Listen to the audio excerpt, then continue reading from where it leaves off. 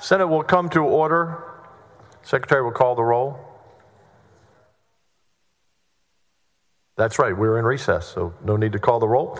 Uh, but please rise, anyone in the Senate chamber, not too many this morning yet, uh, for the invocation by Reverend Griff Martin of the First Baptist Church in Austin. Thank you, Pastor, for joining us.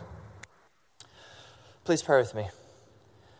God, whom we all know through different names, different paths, and different traditions, but whom hopefully we all experience as love. This Holy Week, you were being celebrated through Passover, through Ramadan, and through Easter. We are reminded in Passover of your call to liberation for anyone power is neglecting or abusing. In Ramadan, we are reminded of your bold call to be prophets, carrying forth your love. And in Easter, we are reminded that there is nothing more powerful or good in our world than love. Remind us of these truths and these holy callings once again. Call and make these elected women and men liberators of those our world forgets and neglects and abuse. Call and make these elected officials bold prophets, speaking truths which create a freer and more equal world for all people. Call and make this assembly a living reminder in our world that love is the only true power, and that only love will heal us and bring about your kingdom. And God, if we can't do those things, then forgive us, disrupt us, renew us, and call us again. Our world needs more liberation and love. And what better place for that to begin than right here? Amen and amen. Thank you, Pastor. Great prayer this morning. Thank you.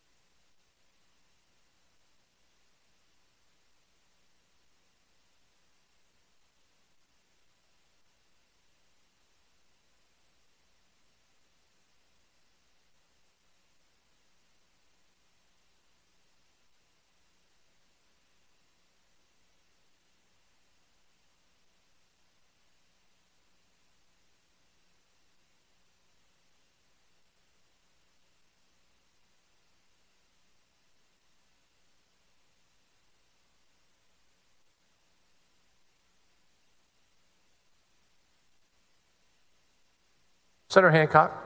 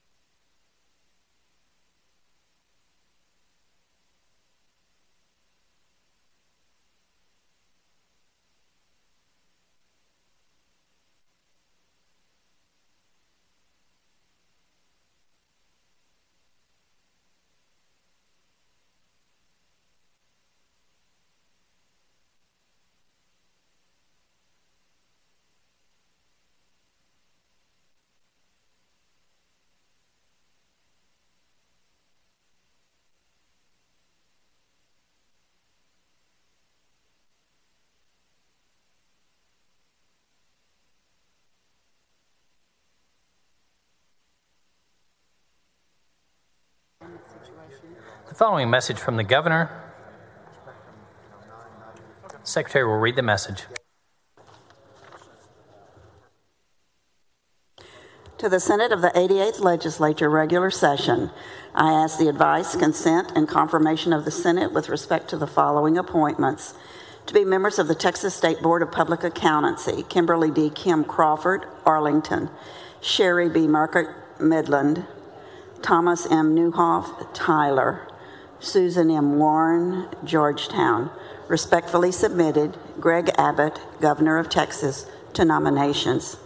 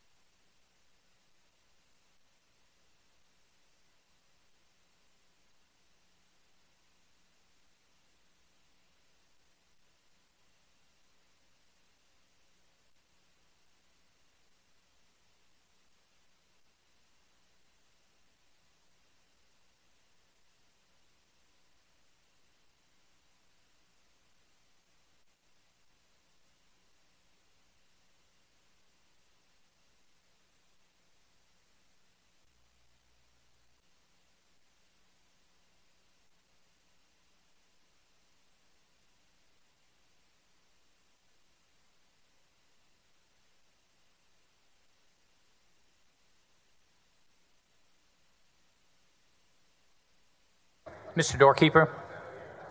Mr. President, there's a message from the House. Admit the messenger. Mr. President, I'm directed by the House to inform the Senate that the House has taken the following action. The House has passed the following measures HB 727 by Rose.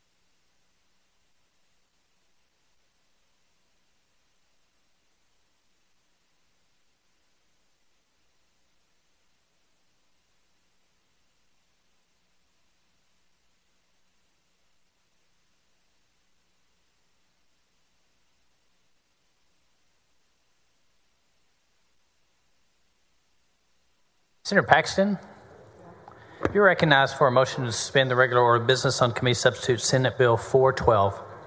Thank you, Mr. President and members. I move to suspend the regular order of business and take up and consider the committee substitute to Senate Bill 412. This bill improves student and faculty awareness of pregnant and parenting college students' rights to ensure that these students receive the accommodations and protections to which they're entitled, to eliminate unnecessary and illegal barriers, barriers to their college education.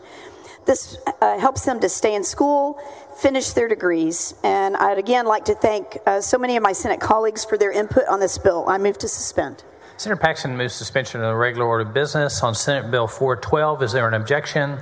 Chair hears none. Rules are suspended. Chair lays out on second reading Senate Bill 412. Secretary will read the caption. Committee substitute Senate Bill 412 relating to protections for pregnant and parenting students enrolled in public institutions of higher education. Senator Paxton, you're recognized for a motion. I move passage to engrossment. Senator Paxton moves passage to engrossment. Is there an objection? Chair hears none. Senate Bill 412 is passed to engrossment. Senator Paxton, you're now recognized for a motion to suspend the uh, constitutional three-day rule. I move to suspend the three day rule. Senator Paxton moves suspension of the three-day rule. Secretary will call the roll. Alvarado, Bettencourt, Birdwell, Blanco, Campbell, Craig. There being 31 ayes and no nays, the rule is suspended. The chair now lays out on third reading and final passage Senate Bill 412. The secretary will read the caption. Committee Substitute Senate Bill 412 relating to protections for pregnant and parenting students enrolled in public institutions of higher education. Senator Paxton, you're recognized for a motion. Thank you, Mr. President. I move final passage of the committee substitute to Senate Bill 412. Senator Paxton moves final passage of Senate Bill 412. Secretary will call the roll. Alvarado, Bettencourt, Birdwell, Blanco, Campbell, Creighton, Eckhardt, Flores, Gutierrez. There being 31 ayes and no nays, Senate Bill 412 is finally passed. Thank you, Mr. President. Thank you, members.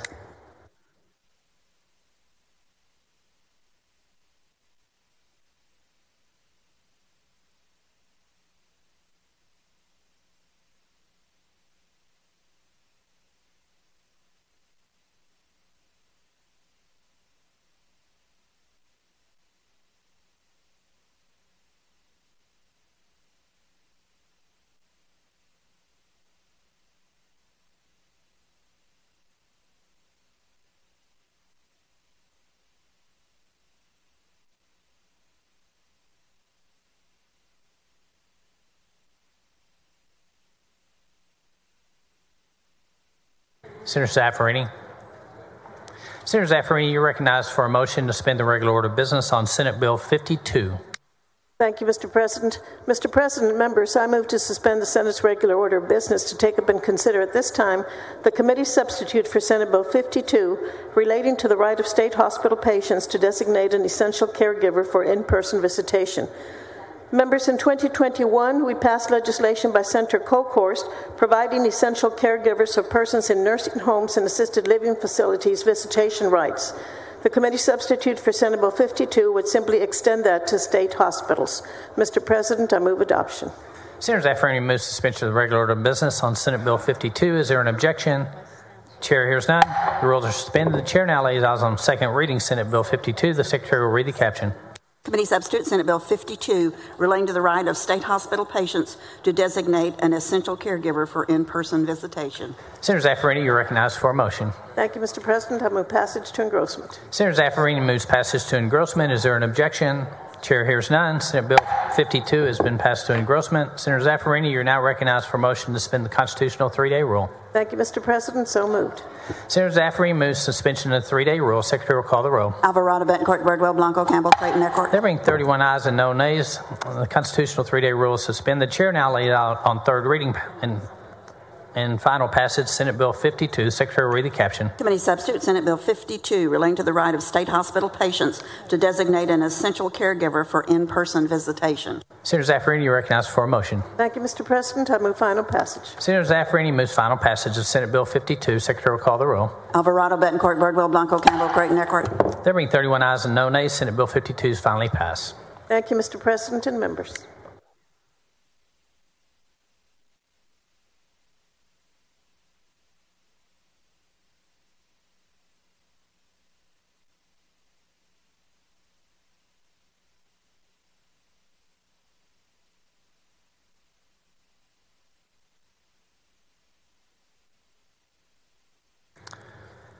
Senator Huffman, you're recognized for a motion to suspend the regular order of business on Senate Bill 1173.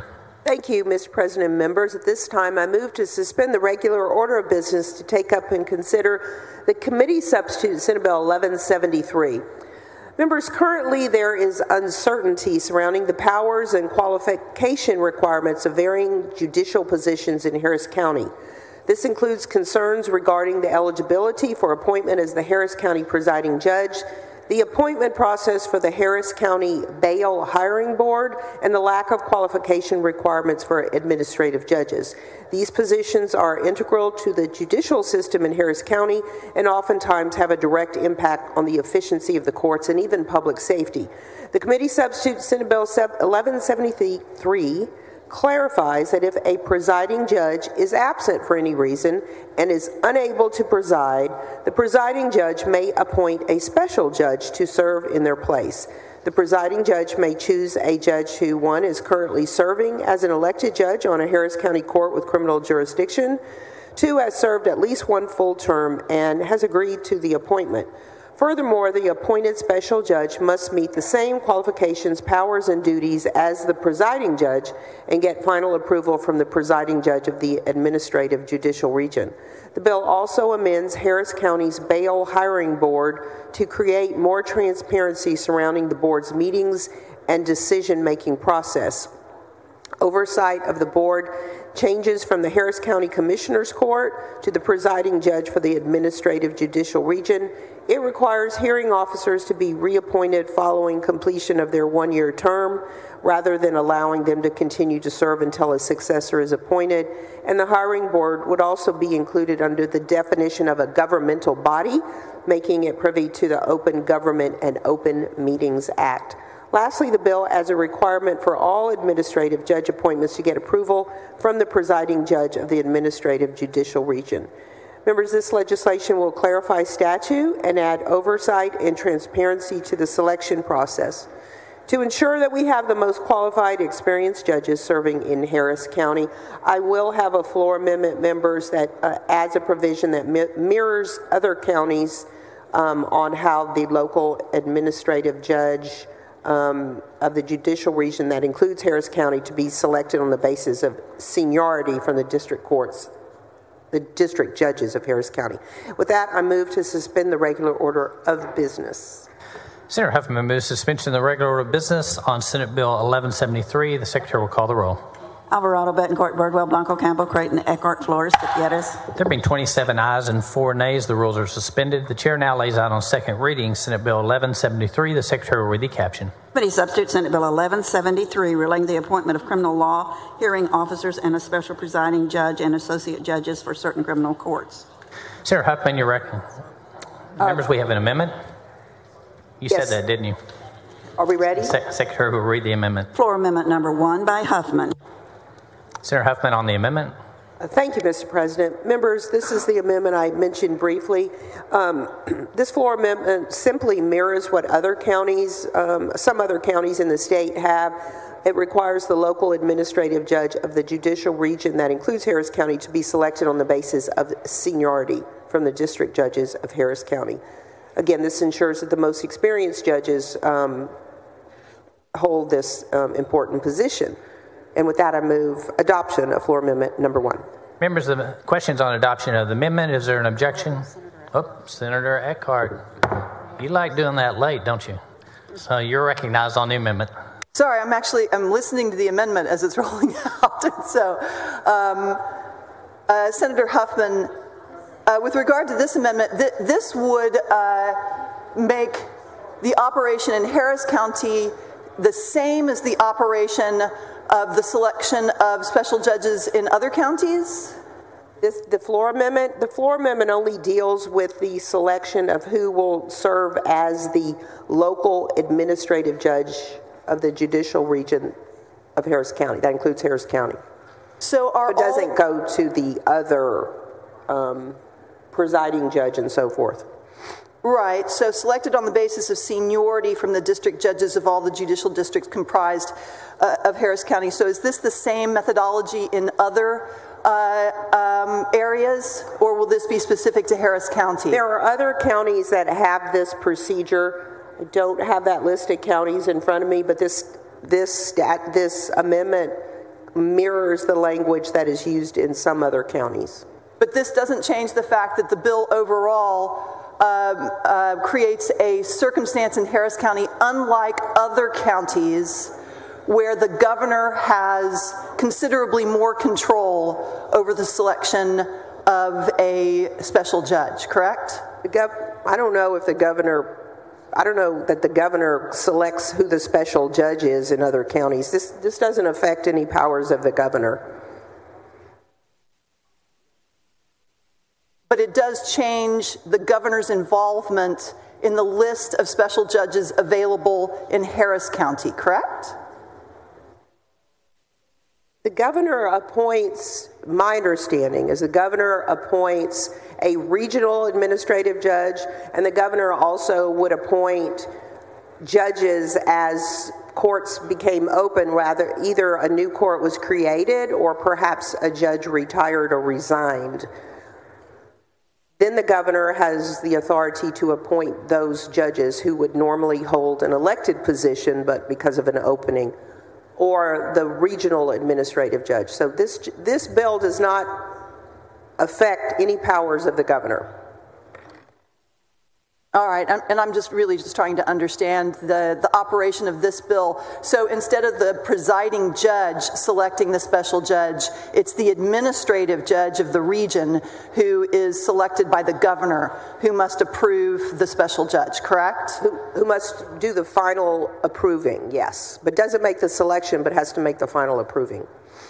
Thank you. Okay. Senator West on the amendment. Senator Huffman, in terms of the this the amendment, uh, based on seniority from the district judges of all judicial districts comprised of Harris County, what are the judicial districts, if you know, that comprise Harris County? Are the, uh, uh, let me ask this, let me ask it this way: All of the judicial districts that comprise Harris County in Harris County. Yes. Thank you. Yeah. It, it's a little confusing, but yes, because we have so many courts. Yes. Yes. Members, questions on the adoption of the amendment? Is there an objection? Chair hears none. The amendment's adopted. Chair lays out on second reading. Right. Senator Huffman, you're recognized for a motion passage to engrossment. It's very early, Mr. President. I move passage to engrossment of the committee substitute Senate Bill 1173. Senator Huffman moves passage to engrossment this morning on Senate Bill 1173. Secretary will call the roll. Alvarado, Bettencourt, Birdwell, Blanco, Campbell, Creighton, Eckhardt. There being 27 ayes and 4 nays, committee substitute Senate Bill 1173 is passed to engrossment. Senator Huffman, you're now recognized for a motion to suspend the constitutional three day rule. So moved. Senator Huffman moves suspension of the three day rule. Secretary will call the roll. Alvarado, Bettencourt, Birdwell, Blanco, Campbell, Creighton, Eckhardt. There being 27 ayes and 4 nays, uh, the rules are suspended. The chair now lays out on third reading and final passage Senate Bill 1173. The Secretary will read the caption. Committee Substitute Senate Bill 1173 relating to the appointment of criminal law hearing officers and of a special presiding judge and associate judges for certain criminal courts. Senator Huffman, you're recognized for a motion. I move final passage of the committee substitute Senate Bill 1173. Senator Huffman moves final passage of committee substitute Senate Bill 1173. Secretary will call the roll. Alvarado, Bettencourt, Birdwell, Blanco, Campbell, Creighton, Eckhardt. There being 27 ayes and 4 nays, Senate Bill 1173 is finally passed. Thank you, members.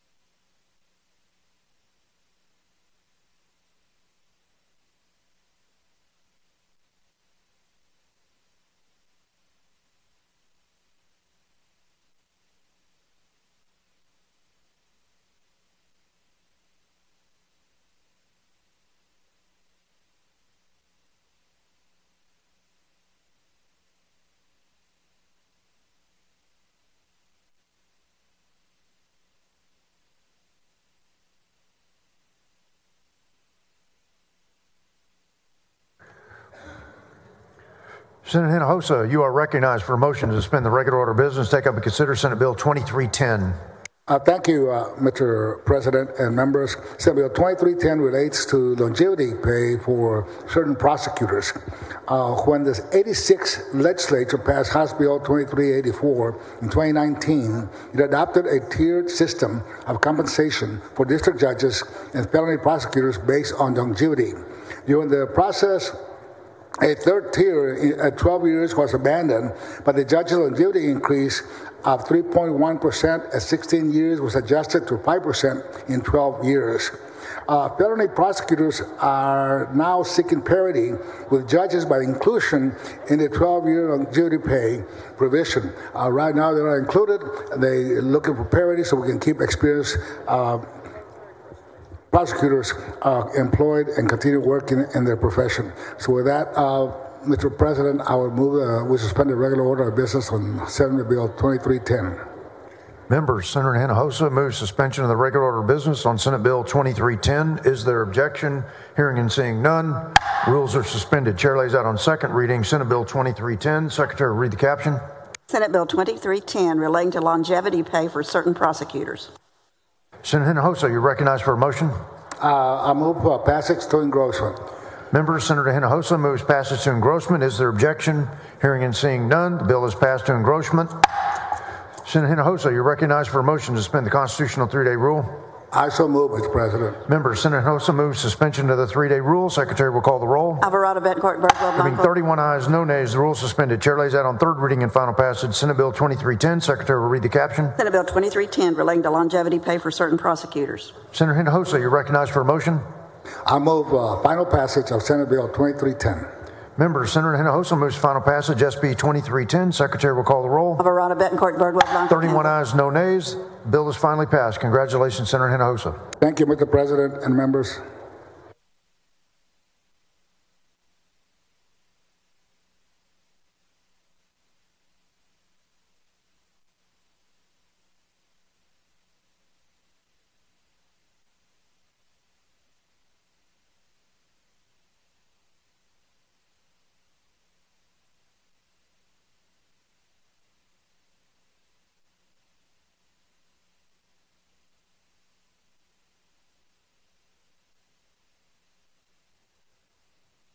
Senator West, you are recognized for a motion to suspend the regular order of business, take up and consider Senate Bill 500.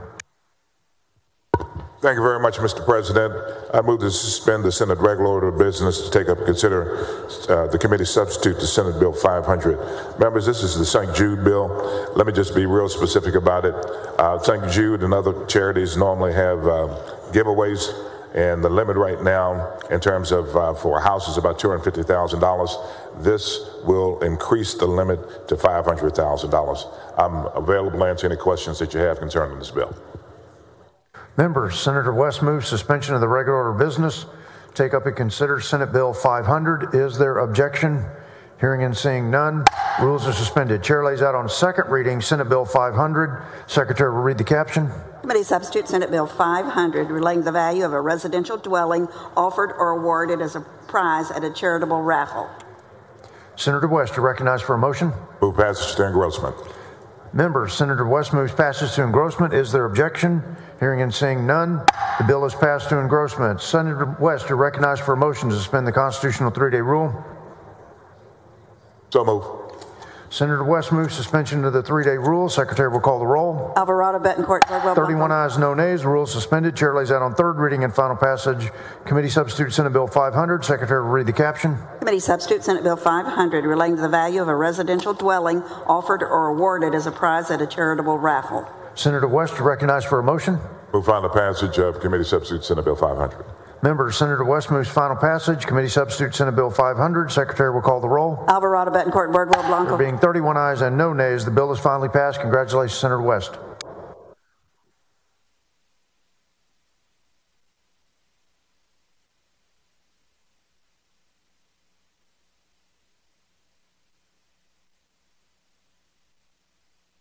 Senator Flores, you're recognized for a motion to suspend the regular order of business. Take up and consider Senate Bill 1008. Thank you, Mr. President. Members, I move to suspend the Senate's regular order of business to take up and consider Senate Bill 1008. In 2019, Texas passed House Bill 1597, allowing military family students with orders assigning them to Texas to enroll in school before actual arrival, allowing our military family students to participate in high demand programs and classes. Current law only allows military families 10 days after the arrival date of their orders to provide the school district with proof of residence. Many military families are experiencing long lead times to find housing, frequently taking up to 90 days. To address the elevated housing market and consequent long lead times, Senate Bill 1008 amends current law to allow military families up to 90 days to provide the district proof of residency. This additional time will hopefully provide relief for the military families of over 165,000 military students in Texas that face so many obstacles with their relocations. Mr. President, I move suspension of the Senate's regular order of business. Members, Senator Flores moves suspension of the regular order of business on, on sub, Senate Bill 1008. Is there objection? Hearing and seeing none, rules are suspended. Chair lays out on second reading Senate Bill 1008. Secretary will read the caption. Senate Bill 1008 relating to establishing residency for purposes of admission into public schools. Senator Flores, you're recognized for a motion. Mr. President, I move passage to engrossment. Members, Senator Flores moves passage to engrossment. Is there objection? Hearing and seeing none, bill is passed to engrossment. Senator Flores, you're recognized for a motion to suspend the constitutional three-day rule. Mr. President, I move to suspend the constitutional rule that bills be read on three several days. Member Senator Flores moves suspension of the three-day rule. Secretary will call the roll. Alvarado, Bettencourt, Birdwell, There being 31 ayes and no nays, the rule is suspended. Chair lays out on third reading and final passage Senate Bill 1008. Secretary will read the caption. Senate Bill 1008 relating to establishing residency for purposes of admission into public schools. Senator Flores, you're recognized for a motion. Mr. President, I move final passage of Senate Bill 1008. Members, Senator Flores moves final passage Senate Bill 1008. Secretary will call the roll. Alvarado, Bettencourt, Birdwell, Blanco. There being 31 ayes and no nays, the bill is finally passed. Congratulations, Senator Flores. Thank you, Mr. President. Thank you, members, on behalf of the military families.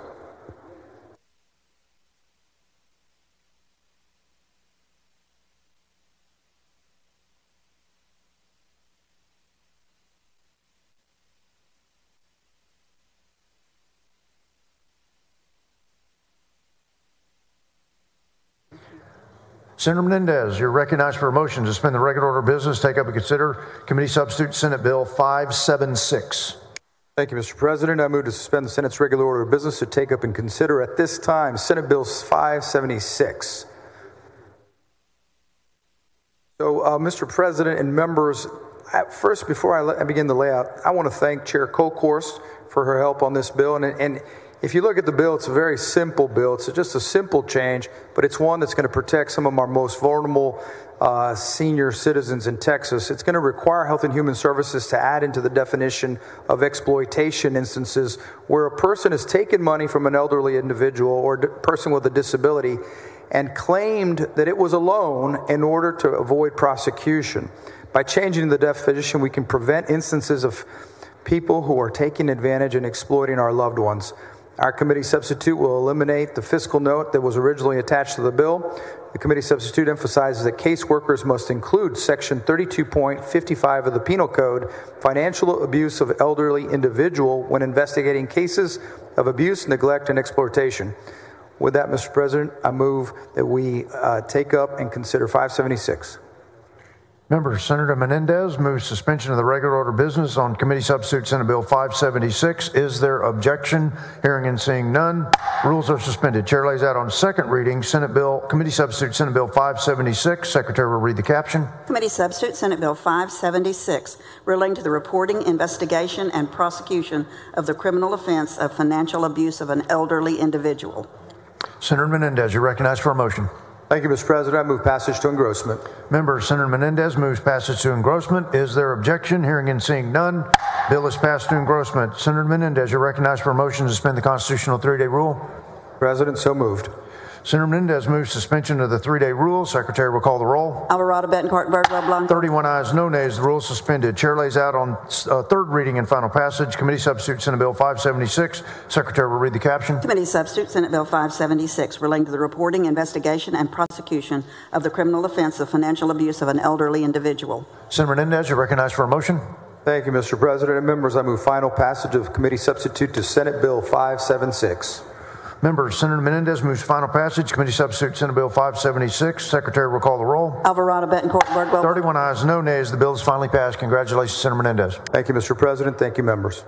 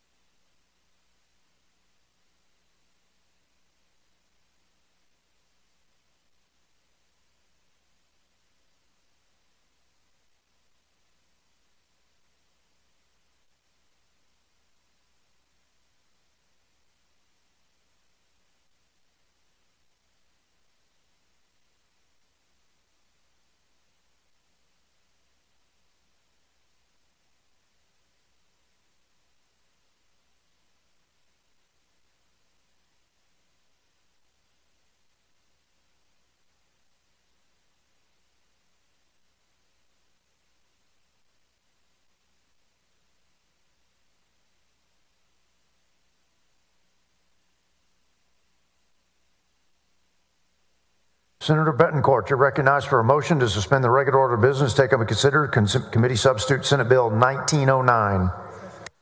Thank you, Mr. President and members. Um, several times in the election cycle, um, there have been court cases where uh, the, uh, the, the parties involved have not uh, notified the Attorney General before trying to receive a trial restraining order on an election issue.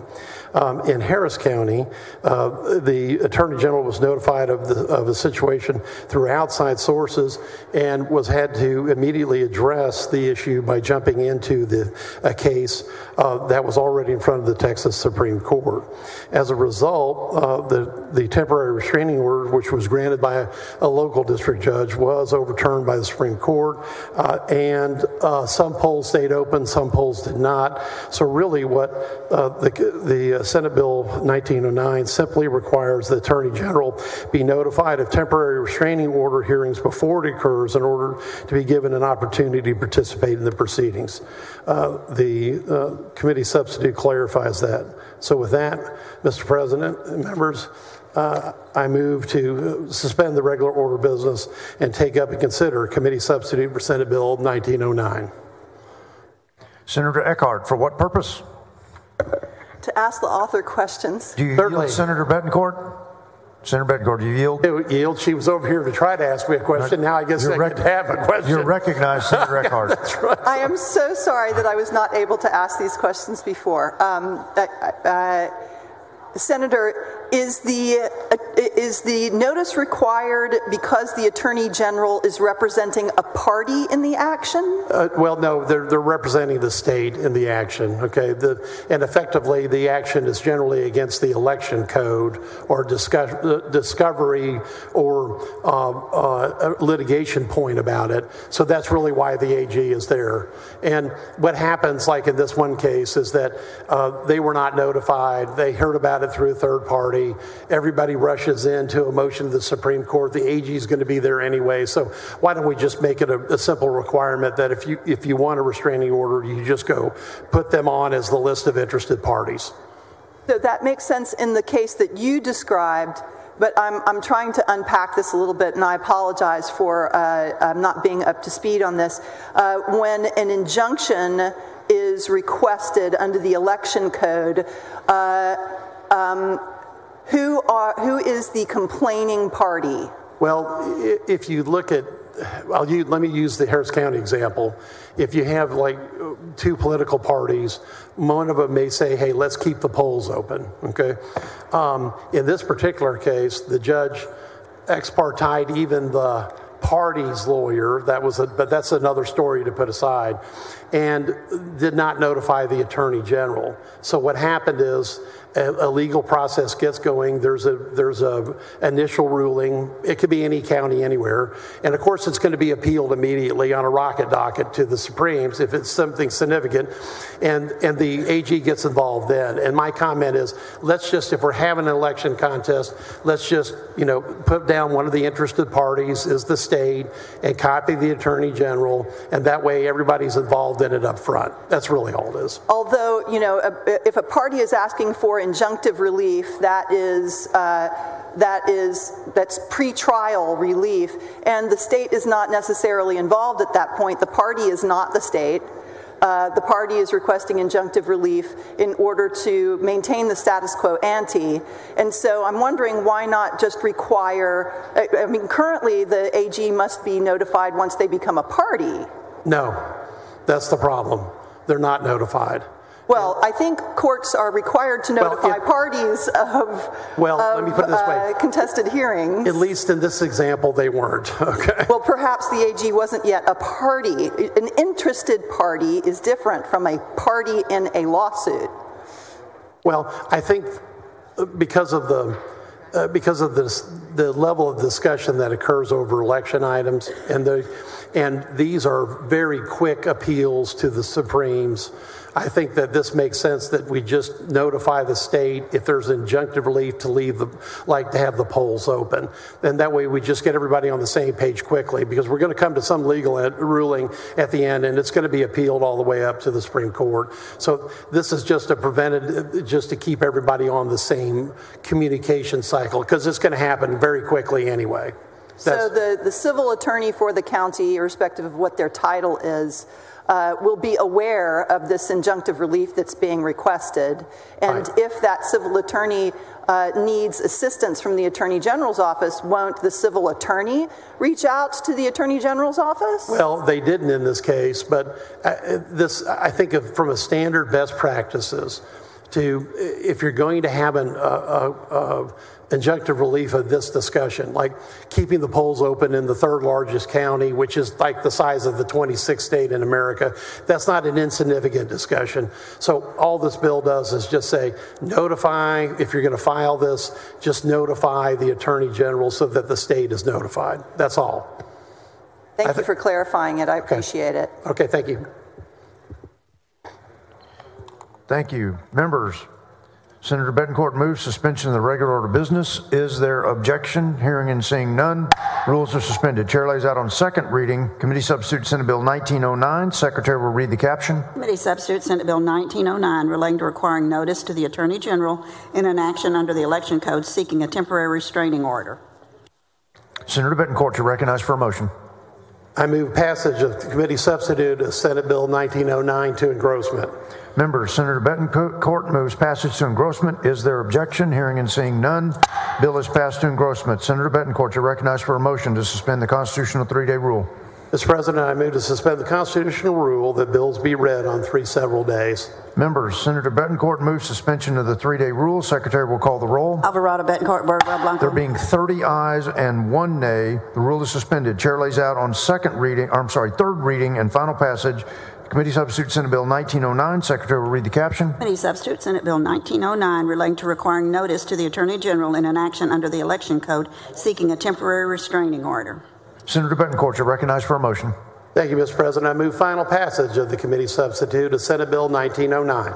Members, Senator Bettencourt moves final passage. Committee Substitute Senate Bill 1909. Secretary will call the roll. Alvarado, Bettencourt, Birdwell, Blanco, There being 30 ayes and one nay, the bill is finally passed. Congratulations, Senator Bettencourt. Thank you, Mr. President members.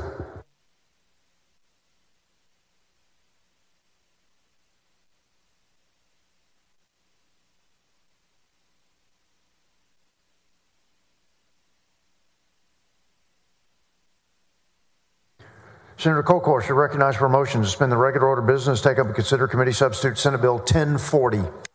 Thank you, Mr. President. I move to suspend the Senate's regular order of business and take up and consider at this time committee substitute to Senate Bill 1040.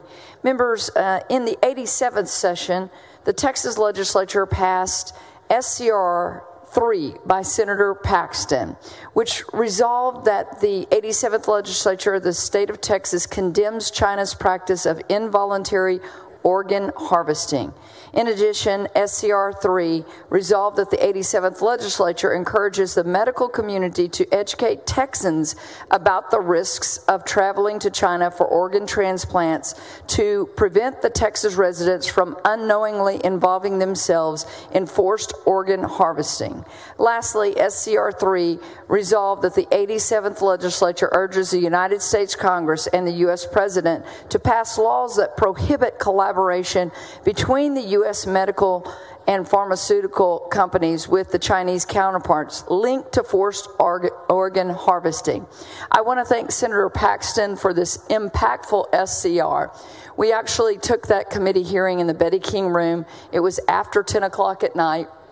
And we had a number of, um, I believe they were uh, Uyghur Muslims that had stayed to testify. They had interpreters.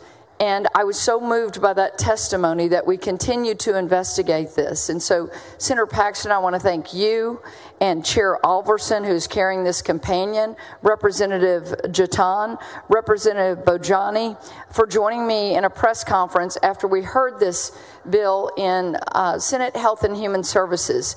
As I looked around as those that testified, again, many of them with, with interpreters, there was not a dry eye among those that were listening on the Senate floor. At one point, I looked up, and in solidarity, those that had traveled stood up while their colleagues testified in that hearing. They stood in silence and in reverence.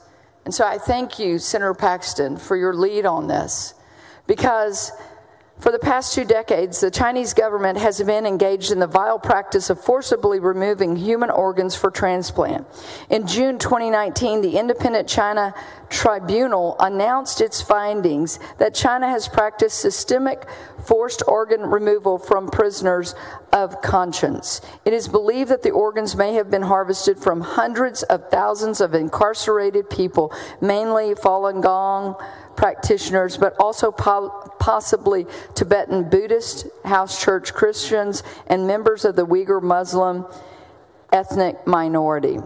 China has welcomed what has been deemed as transplant tourism, where individuals who are critically in need of an organ travel to China and pay thousands of dollars for one of the 60 to 90,000 transplant surgeries each year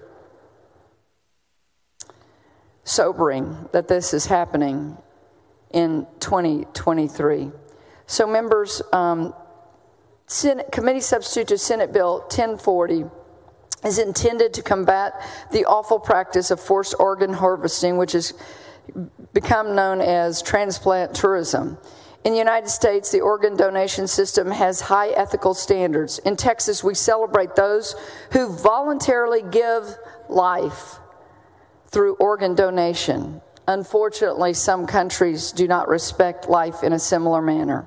The primary intention is to prevent Texans from unknowingly becoming complicit in forced organ harvesting. The bill achieves this by prohibiting health benefit plans from paying for organs that originated in countries where the risk is extremely high that organs will have come from this illicit source. The bill would prohibit paying for expenses related to organ transplant procedures or recovery if the organ is known to have originated in a country with a government that funds, sponsors, or otherwise facilitates forced organ harvesting. The bill will allow the Commissioner of the Department of State Health Services to add additional countries to the list that fund, sponsor, or otherwise facilitate organ harvesting thank you for this moment that I was able to uh, bring an awareness to this. I was stopped by a county court at law judge this weekend when I was at an event, and he said, I saw your Facebook post, and he said, I had no idea that this was going on. So I want to thank my colleague and friend, Senator Paxton, for bringing that uh, SCR forward on a very late night in the Betty King room to bring the awareness. And as we move forward, maybe we can stop this heinous practice. With that, Mr. President, I move to suspend the regular order of business. Senator Paxton, for what purpose? To ask the author a question. Do you yield, Senator Kolkhorst? I do. You're recognized, Senator Paxton. Thank you, Mr. Uh, President. Senator Kolkhorst, will you ever forget that night? I will not. I will not. And I'll be honest, uh, we had had a long day on the floor, and all of those people had stayed. And I was like, oh my goodness, it's just an SCR. Let's move on. And you know, the good Lord um, has a way of slowing us down and saying, stop, listen, be still, because something really big here is happening. And so the awareness of what uh, is going on and their descriptions again, when we had Senate Bill 1040, their descriptions of concentration camps and prisons and imprisonments uh, of what would be innocent people in our country, the freedom to practice your religion as you want, that you're not uh, an ethnic minority and being forced to be in so many ways a slave, and then your organs being tested. I will say, too, or being taken. They talked about how um, your blood is taken and how all of these things are taken so that they know what your match is going to be. Well, and of course, we know here in the United States that when you're awaiting an organ transplant, you go on to a wait list. And then when an organ becomes available, it's something that happens very suddenly and things start moving very quickly. it should tell everyone when you can schedule a transplant in China that something is wrong with that with that practice. Um, you know that that night was the culmination uh, with some of my constituents who had reached out to others that they knew. Um, many of my constituents are practitioners of Falun Gong, and one of the things that is um, in common with these uh, folks, they're religious people, they're people of conscience, and and they have very very healthy lifestyles. And so that makes them ideal for organ transplants, which is a very sick thing to think about. That that's that's the reason you're selected, and and in addition to that, of course, um, the fact that they have a faith um, and something to which they're more loyal to than their government, uh, a higher power that they that they follow is um, condemnable uh, to the Chinese uh, Communist Party, and so. Um, I, I, remember too, um, and I just wanted to note this, and we talked about this in the press conference, but the courage of these folks here um, to speak out about this is really difficult to explain. But they do so knowing that they may be identified and their family members who are back home may be identified and persecuted even more than they already are. And so they're willing to do it in order to stop this horrific practice. Um, I was honored to be part of the SCR um, at really their leadership because they brought it to my attention, but I'd appreciate you taking the baton and taking it to the next step. Thank you, Senator Kolkhorst. I, I uh, thank you for that, uh, Senator. I also want to say the Minaret Foundation, of which the executive director uh, lives in Fort Bend County, is my constituent, uh, was here for the press conference as well, and they uh, brought some of the uh, Muslim Uyghurs. I represent a great deal of Muslims, and they are being persecuted in China. And so I stand in solidarity with them uh, against this. I want to thank Representative Bhojani, who came over here and has been so supportive. Again, Dr. Oliverson, Representative Chair Oliverson, will be carrying this in the House. And uh, I think, again, it will bring awareness. Uh, as I've learned, so many people did not know this was going on, and I didn't before you brought it forth. So uh, thank you for that. And um, so, with that, uh, Mr. President, before I suspend the regular order of business, I will say I want to thank my staff for the tremendous work that they did. Grant McLaughlin, Maureen Metoyer, uh, on this bill and working with so many people. Um, I'm, I'm, grateful. This is an impactful bill uh, to bring to light uh, what is going on in our world in the year 2023. Member Senator Kolkhorst moves suspension of the regular order of business. Is there objection? Hearing and seeing none, rules are suspended. Chair lays out on second reading Committee Substitute Senate Bill 1040. Secretary will read the caption. Committee Substitute Senate Bill 1040 relating to health benefit plan coverage of a transplant of an organ that originated from or is transplanted in a country known to have participated in forced organ harvesting. Senator Kolkhorst to recognize for a motion. Uh, thank you, Mr. President. I move passage of Committee Substitute Senate Bill 1040 to engrossment. Member Senator Kolkhorst moves passage to engrossment. Is there objection? Hearing and seeing none, bill is passed to engrossment. Senator Kolkhorst, to recognize for a motion to suspend the constitutional three-day rule. So moved. Member Senator Kolkhorst moves suspension of the three-day rule. Secretary will call the roll. Alvarado, Bettencourt, There being 31 ayes and no nays, the rules are suspended. Chair lays out on third reading and final passage. Committee substitute Senate Bill 1040. Secretary will read the caption. Committee substitute Senate Bill 1040 relating to health benefit plan coverage of a transplant of an organ that originated from or is transplanted in a country known to have participated in forced organ harvesting. Senator Kolkhorst to recognize for a motion. I move final passage of committee substitute to Senate Bill 1040 and remember all of those that have been forced to give up their organs and or have given their lives um, in this heinous practice. Members, Senator Kolkhorst moves final passage. Committee substitute Senate Bill 1040. Secretary will call the roll. Alvarado, Bettencourt, There being 31 ayes and no nays, the bill is finally passed. Congratulations, Senator Kolkhorst. Thank you. Thank you, Mr. President. Thank you, members.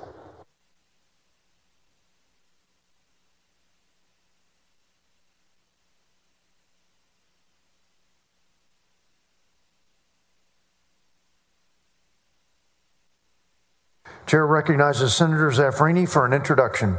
Thank you, Mr. President. Mr. President and members, it was my pleasure to author Senate Resolution 393, recognizing April 6 as Tejano Day at the state capitol. Today's activities were organized by an outstanding group, the Texas Association of Mexican American Chambers of Commerce, also called TAMAC. We welcome this opportunity to recognize the pivotal role the Tejanos have played in our state's history and the noble causes to which they have tirelessly dedicated themselves to build a better Texas. The Tejanos comprise a diverse and vibrant community whose members have and continue to shape our state's trajectory. From independence movements, battlefield heroics, and distinguished military service, to intellectual innovations, artistic prowess, and culinary inventions, their contributions capture the essence of Texas. Tejanos also have been key figures in the fight for social justice and equality for all, including heavy involvement in pivotal spheres such as politics, civics, education, and women's rights. These efforts have brought the core ideals of our state to life and allowed Texas to flourish. The rich and storied histories they share will only compound with time, including those of Jose Antonio Navarro, Jose Francisco Ruiz, John J. Herrera, and countless others forever enshrined in our state's collective mem- memory. Members, they were here to celebrate Tejano Day on the South Lawn, but because of the bad weather, those activities, including mariachis and ballet folklorico, have been canceled. But joining us is a delegation in the North Gallery that includes Pauline Anton, President and CEO of the Texas Association of Mexican American Chambers of Commerce, and J.R. Gonzalez, Executive Vice Chair, Cortland Trion, volunteer. I'd ask the volunteers to please stand and be recognized and welcomed as we celebrate Tejano Day at the Texas Capitol. Thank you.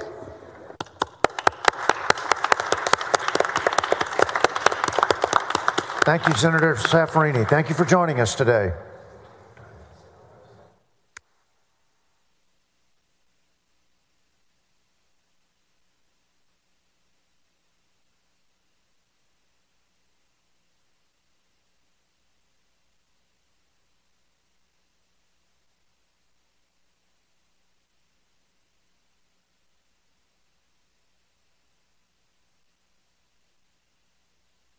Senator Campbell.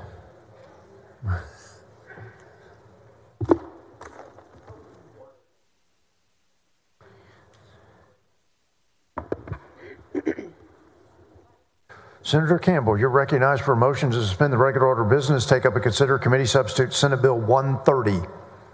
Thank you, Mr. President and members. I move to suspend the Senate's regular order of business to take up and consider uh, committee substitute Bill Senate Bill 130. This bill codifies the Third Court of Appeals decision that local paid leave ordinances are unconstitutional because they violate the Texas Minimum Wage Act. And with that, I move suspension. Members, Senator Campbell moves suspension of the regular order of business. Take up. Um, is there objection? Senator West, you are recognized. Or for what purpose? Question of the author. Senator Campbell, do you yield? Yes. You recognize Senator West. Let's slow down a little bit. So, uh, what's this bill does is, is about what again? I, I'm trying to go through all these bills now. What is the bill about? Put your glasses. Yes, sir. All right. So, what is what is the bill about again? Remember when some some uh, bigger cities were trying to um, mandate local ordinances such as predictive schedules, sick leave, mandate private business that they had to offer certain benefits. That was challenged by the Third Court of Appeals. I mean, it was challenged, then it went up to the Third Court of Appeals. Third Court of Appeals said, no, that's, those benefits and perks are viewed as minimum wage benefits. They're part of the Minimum Wage Act. That can only be controlled by the legislature, or which is controlled by the legislature. So rendered the municipalities um, that they could not apply their ordinances onto small businesses, private business. They can do it for their, their city employees. They just can't. They just can't tell small businesses that you have to have anything that is regarded as a perk or a benefit. And this bill simply codifies what the Third Court of Appeal did. Is, has, is the case been appealed to anything? It went to the third court. I think it was, did it, did it tried to go up to the Texas Supreme Court, just looking at my staff, it was taken to the Texas Supreme Court. They have not rendered an opinion, leaving the third court. So is it still, I mean, is it, I, I, my question is, is it still in litigation? Is it still in the appellate process, appeals process? I think it is not. It's not still in the appeals process, is it, Carrie? No. All right, thank you. Thank you, Senator West. Senator Johnson, for what purpose? Short question of the author. Senator Campbell, do you yield? Absolutely. You are recognized, Senator Johnson. Thank you, Mr. President. Senator Campbell, uh, you know that there are people who earn very little money and who are going to have a very hard time making it if they're sick and miss a few days, right? Yes. And, and I have no doubt that you're sympathetic to their plight. Yes.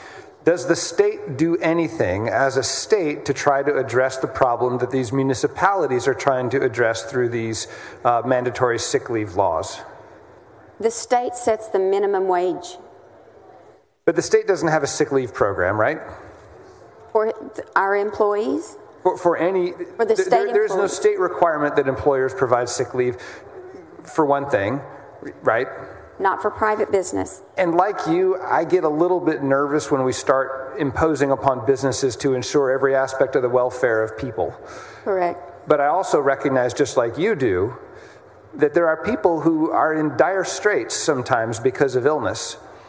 And if the state could do something, either through the Texas Workforce Commission uh, or some other entity, to try to implement a program that would take the pressure off of employers for taking care of employees, but recognizing that people need help getting by, that would be a great move by the state. And then I'd be super comfortable having a preemption law that prevented cities from enacting these programs.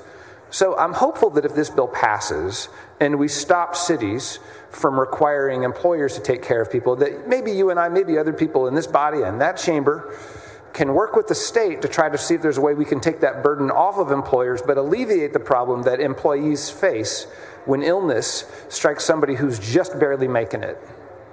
Well, I, I hear what you're saying. I am sympathetic to folks who don't have those benefits, but I am not in favor of even the state government coming in and giving, um, making up for the lack that they have because of an illness. I mean, I, I'm, I'm uh, not for that. I'm not for the state coming in and providing that. I mean, we've got unemployment. If they get unemployed, we help with that. But businesses also pay into that. Well, I'll, I'll skip my third reading comment and just say that where I, I recognize your, your, the importance of not imposing too much on businesses to take care of everybody, but we also have to have employees. And I would be much more sympathetic to preemption, preempting cities from taking action if the state itself would take action. Thank you for letting me speak. Thank you, Senator uh, Johnson. Members, the motion before us, Senator uh, Campbell moves suspension of the regular order business. There is objection. Secretary will call the roll. Alvarado, Bettencourt, Birdwell, Blanco, Campbell, Creighton, Eckhardt. There being 20 ayes and 11 nays, the rules are suspended. Chair lays out on second reading Committee Substitute Senate Bill 130. Secretary will read the caption. Committee Substitute Senate Bill 130 relating to the regulation by a municipality or county of certain employment benefits and policies. Senator Campbell, you're recognized for a motion. I move passage to engrossment. Members, Senator Campbell moves passage to engrossment. There is objection. Secretary will call the roll. Alvarado, Bettencourt, Birdwell, Blanco, There Campbell. being 20 ayes and 11 nays, the bill is passed to engrossment and will hold there, Senator Campbell. Thank you, Mr. President. Thank you, members.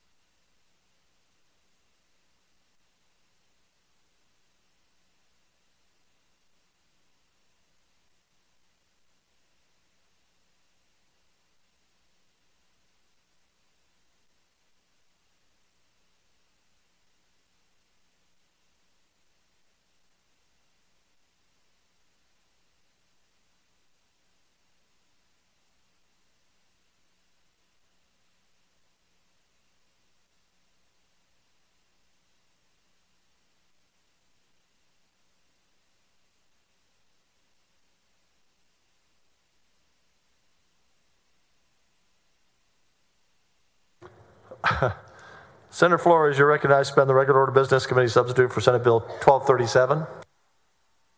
Thank you, Mr. President. Members, I move to suspend the regular order of business to take up and consider Senate Bill 1237. Currently, commissioned peace officers employed by the Comptroller of Public Accounts are in Salary Schedule B of the State of Texas Position Classification Plan. Committee substitute for Senate Bill 1237 would add commissioned peace officers employed by the Comptroller to Salary Schedule C of the plan. The Comptroller's peace officers enforce the state tax code in all 254 counties and make felony arrests relating to violations of the tax code each year. Adding them to Schedule C will provide salary parity to similar positions at other state agencies. I move suspension of the Senate's regular order of business.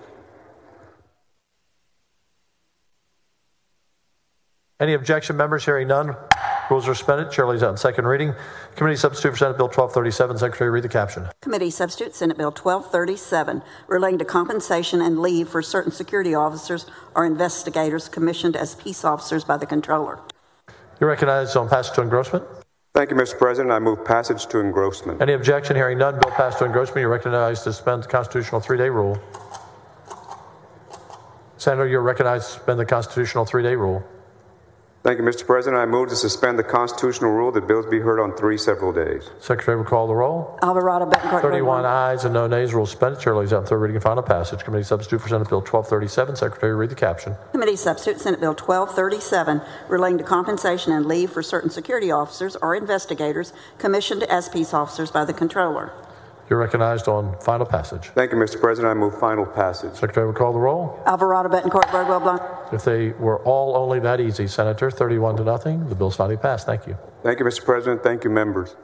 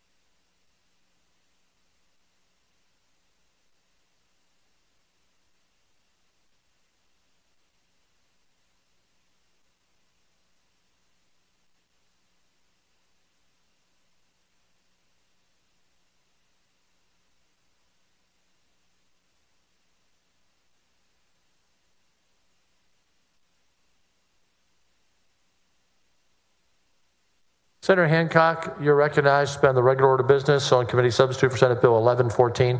Yes, thank you, Mr. President. I move to suspend the regular order of business and take up and consider committee substitute to, to Senate Bill 1114 at this time relating to the authority of a political subdivision to regulate the use of sale of a product for purpose of reducing greenhouse gas emissions. Uh, the bill will prohibit local governments from adopting or enforcing emissions reduction policies on rules that unfairly prohibit the re- and restrict the use of sale of legal products. A growing number of local governments are considering measures that restrict the use and sale of uh, some products in the name of environmentalism, unnecessary burdening businesses, especially small businesses and residents alike. The bill would afford Texans the same right to own, use, and sell product by ensuring greenhouse gas emissions reduction policies adopted by local government don't unfairly ban ban uh, legal products. I move suspension. Any objection? Probably.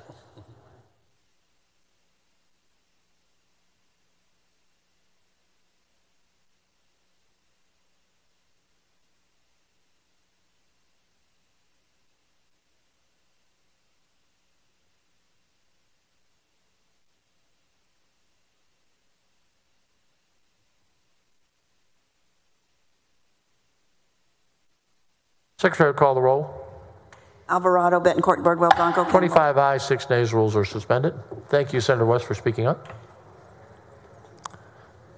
Chair lays out on second reading, committee substitute for Senate Bill 1114. Secretary, read the caption. Committee, committee substitute Senate Bill 1114 relating to the authority of a political subdivision to regulate the use or sale of a product for the purpose of reducing greenhouse gas emissions. You're recognized passage to engrossment. Passage to engrossment. Secretary will call the roll.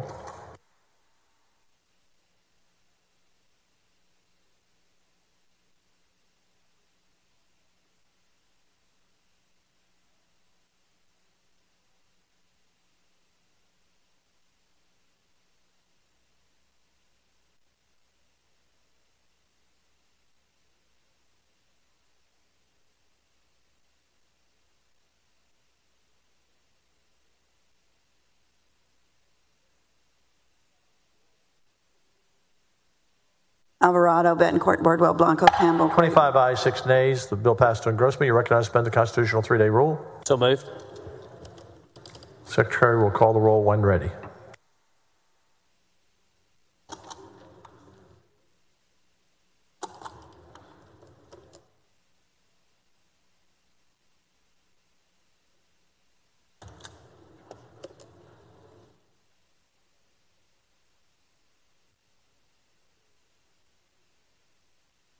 Alvarado, Bettencourt, Birdwell, Blanco, Campbell. 25 ayes, 6 nays. The rule is suspended. The chair lays out third reading and final passage. Committee substitute for 11 Bill 1114. Secretary, read the caption. Committee substitute Senate Bill 1114 relating to the authority of a political subdivision to regulate the use or sale of a product for the purpose of reducing greenhouse gas emissions. You're recognized on final. I move final passage.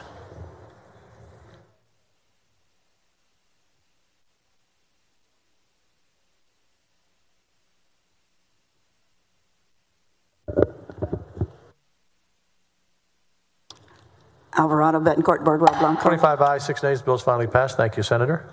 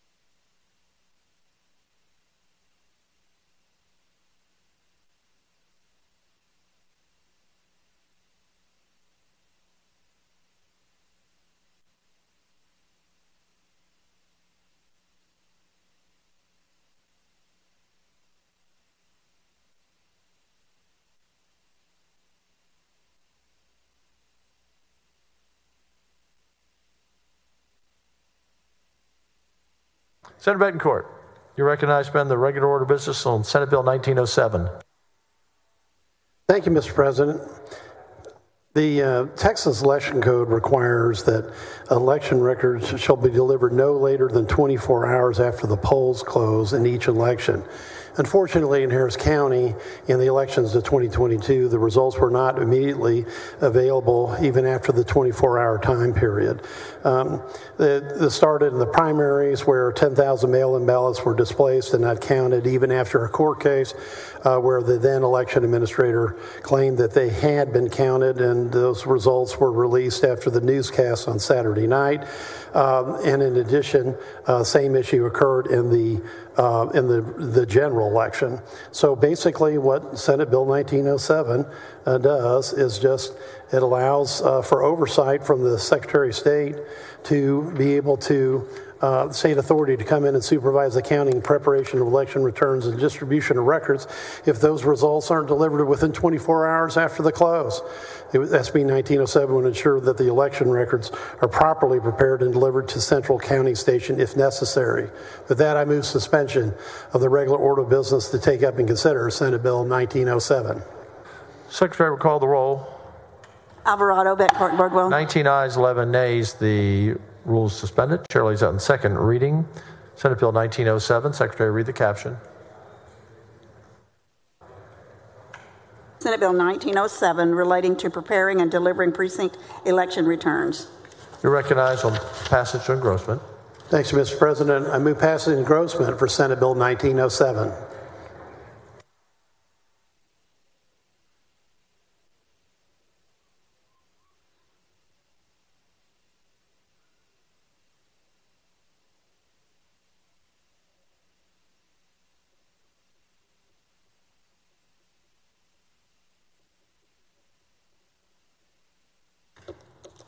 Secretary will call the roll.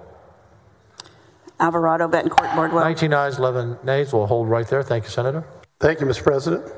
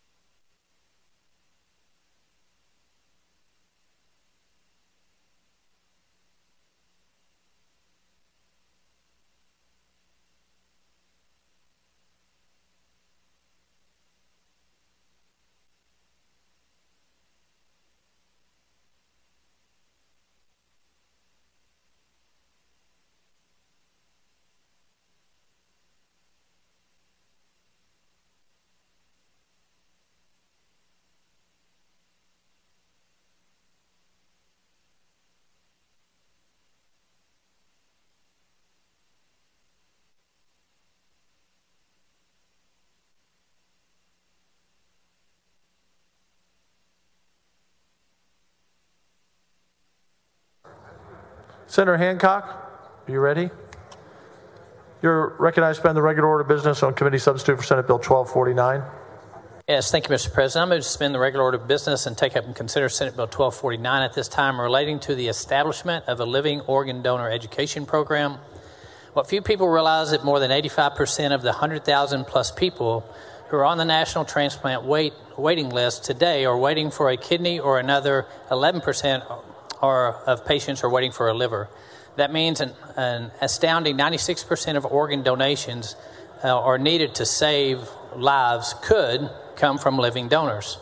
Uh, and Senate Bill 1249 will create a live donor uh, recruitment program and development of relating informational materials for Texans in partnership with Donate Life Texas to learn how to become a living donor and raise awareness about the overwhelming need for organ donation. Um, and as a matter of um, business, I had left uh, here just a little while ago to do an interview with my son in law who donated his kidney to me uh, before coming back and laying out this bill. So your timing's excellent, Mr. President. With that, I move suspension. You know I had that plan, of course. Uh, any objection? Hearing none. The rules are suspended. Chair lays out on second reading committee substitute for Senate Bill 1249. Read the caption. Committee substitute Senate Bill 1249 relating to the establishment of a living organ donor education program. You know, Senator, a lot of the time we have people who have expertise on issues. You surely are the person to carry this bill. You're recognized on passage to engrossment. Uh, th- thank you, Mr. President. I move passage to engrossment. Any objection? Hearing none, bill passed to engrossment. You recognize to suspend the constitutional three day rule. I move to suspend the rule that bills be read on three several days. Secretary will call the roll. Alvarado, Bettencourt, Birdwell, 31 ayes, no nays. The rule is suspended. Chair lays out in third reading and final passage. Committee substitute for Senate Bill 1249. Secretary will read the caption. Committee substitute Senate Bill 1249 relating to the establishment of a living organ donor education program. You recognize the final passage. Thank you, Mr. President. I move final passage. Secretary will call the roll. Alvarado, Bettencourt, Birdwell. 31 ayes, no nays. Bills finally passed. Thank you.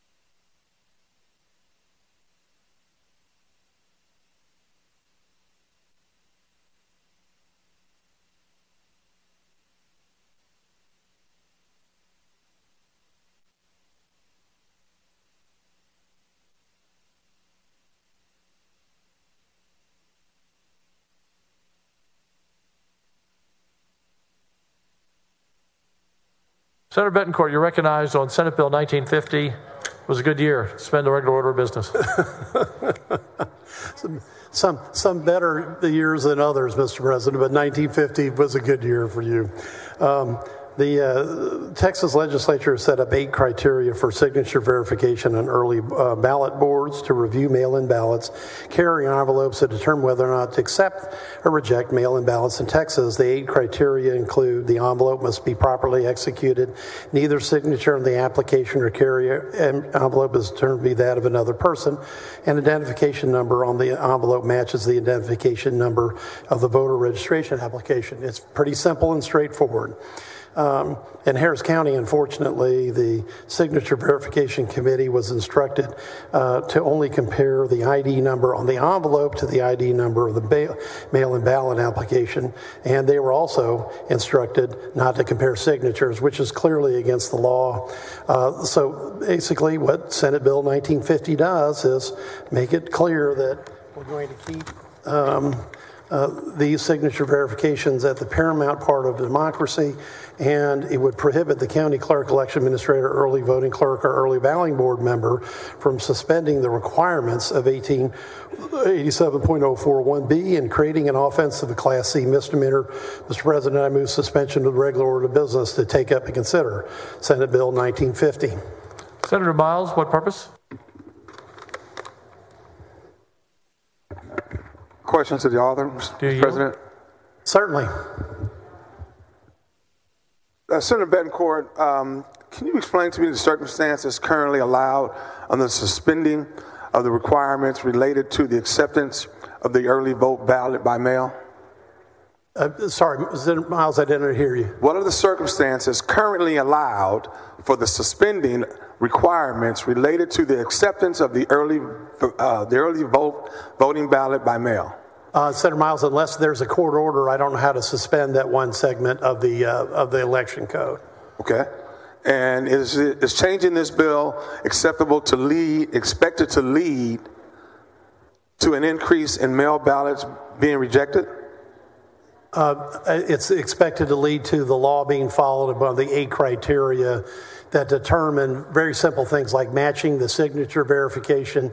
Uh, none of those should have been suspended in Harris County uh, because this is we've got a clear outline procedure in the code, Senator, that just compares signatures. You have to make sure you've got the right ID number, uh, et cetera. Um, and and so this bill just says don't suspend what was already in law. And I agree with you. And how many times does the signature need to be verified under this legislation? Um, under well, your legislation, how many times will we be verifying signatures? Well, the current law says it needs to be verified every time. I mean, Every time. The every signature, time. right. That, so, that's, that's what the current law says, and all this says is that uh, you can't suspend that requirement. So you don't see it being multiple times under this, adding some more times before it to be verified? No, because if because the original what uh, the law said was to do it every time, and that's what every county is doing, supposedly every time, except that when an election administrator decides to suspend the code unilaterally, uh, and that shouldn't happen for any reason. For any reason. Senator Bettencourt, you're aware that in the hearing for this bill, the women from Baxter from Bexar County who was testifying in favor of your bill stated that there were that they were acting under the directions of the Secretary of State. Were you aware of that? Um, no, I don't remember that, but I, uh, Senator Miles. But take my word for it. Oh well, if, if, to proceed with the proceed with the argument, please go ahead. take my word for it. Take my word for it. I wouldn't lead you wrong, Senator okay. Bettencourt. Um, what happens if the election administrator is acting under the discretion in the directions of a Secretary of State?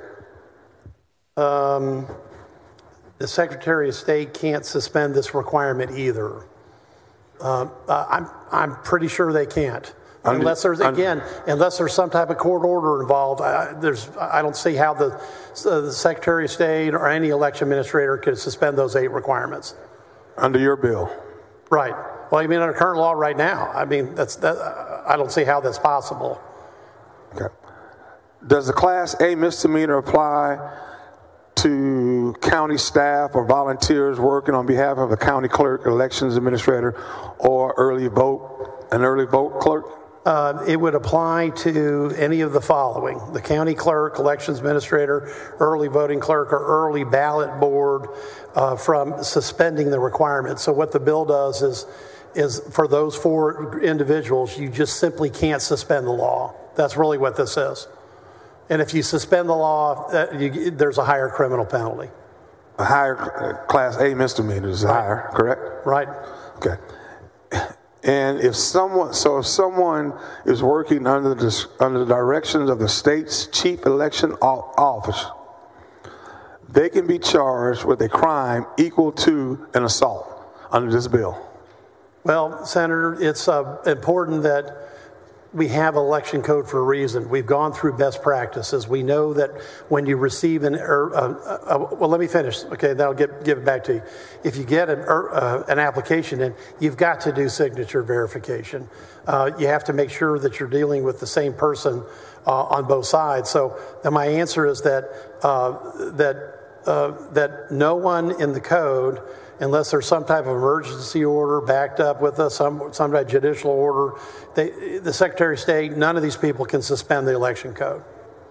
I just want to repeat under this bill, uh, make sure you understand if someone is working under the direction of the state chief election office, they can be charged with a crime equal to an assault under this bill, Well, 1950. Unless some bills pass in the House, there is no way for the Secretary of State to tell anybody. They, they only have an advisory capability uh, at this point in time. There is no one that works under them from the county position yet. So, so the answer would be they can't say it and the other people can't do it. And you're aware that in Harris County, we're, fi- we're, we're- we're finding it hard to even find people to work the elections these days. Well, I, unfortunately, um, with the chaotic jumble of what happened, I understand why.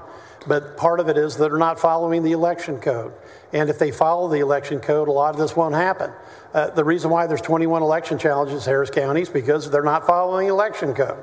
We'll see what the courts do with them, but we know they're going to trial, or at least a, a good chunk of And, them and the other side of that is bills like this that when they do try to volunteer and help the service, they got to be in fear of going to jail for doing something they know nothing about. Thank you, Sen- Bettencourt. I'll be Always. voting against this bill. And always enjoy the discussion.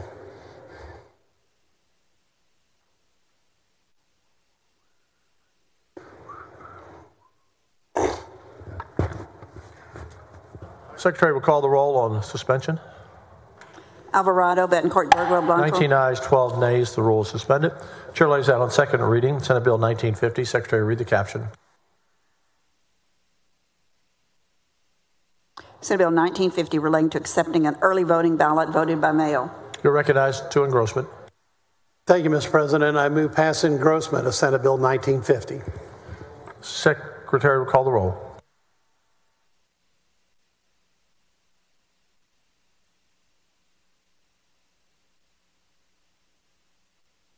Alvarado, Bettencourt, Birdwell, Blanco, Campbell, Creighton. 19 ayes, 12 nays. The bill passed to engrossment. We'll hold there. Thank you, Mr. President, members.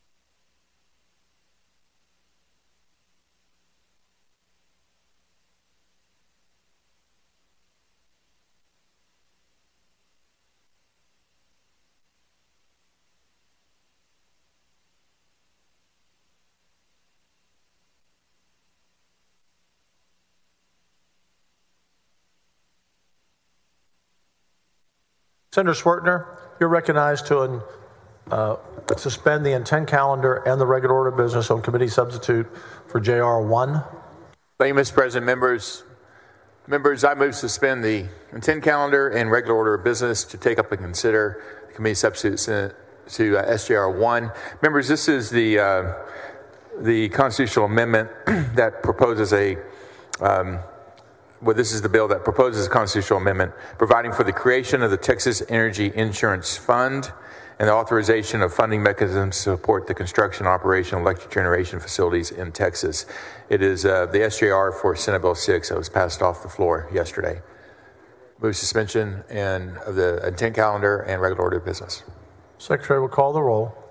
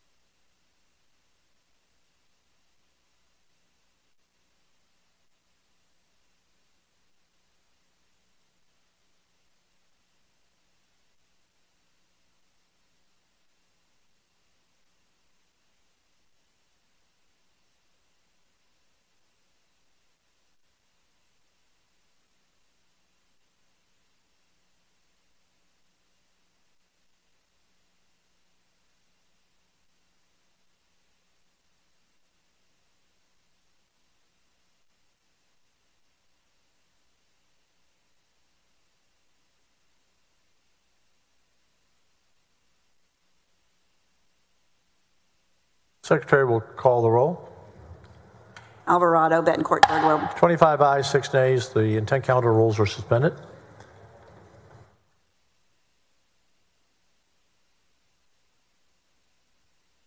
Chair lays out on second reading committee substitute for SJR 1. Secretary, read the caption. Committee substitute SJR 1 proposing a constitutional amendment providing for the creation of the Texas Energy Insurance Fund. You are recognized passage to engrossment. Thank you, Mr. President. I move passage to engrossment. Committee substitute SJR 1. I'll give the secretary time to register the votes.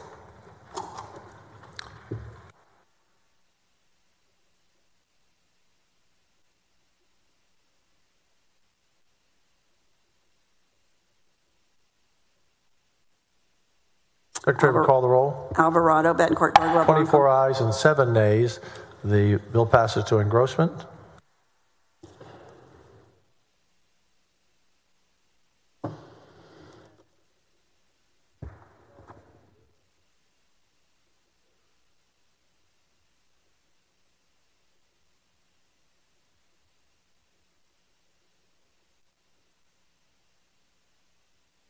You're recognized suspend the constitutional three-day rule. So move, Mr. President. Secretary will call the roll. Alvarado, Bettencourt, Birdwell, Blanco. 26 ayes, 5 nays. The rule is suspended. Chair now lays out in third uh, reading and final passage committee substitute for JR1. Secretary will read the caption. Committee substitute SJR1 proposing a constitutional amendment providing for the creation of the Texas Energy Insurance Fund. You're recognized on final. Thank you, Mr. President. I move final passage committee substitute SJR1.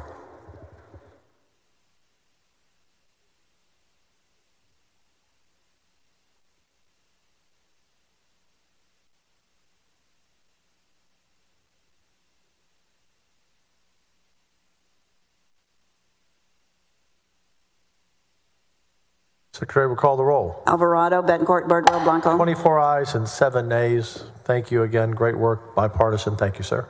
Thank you, Mr. President. Thank you, members.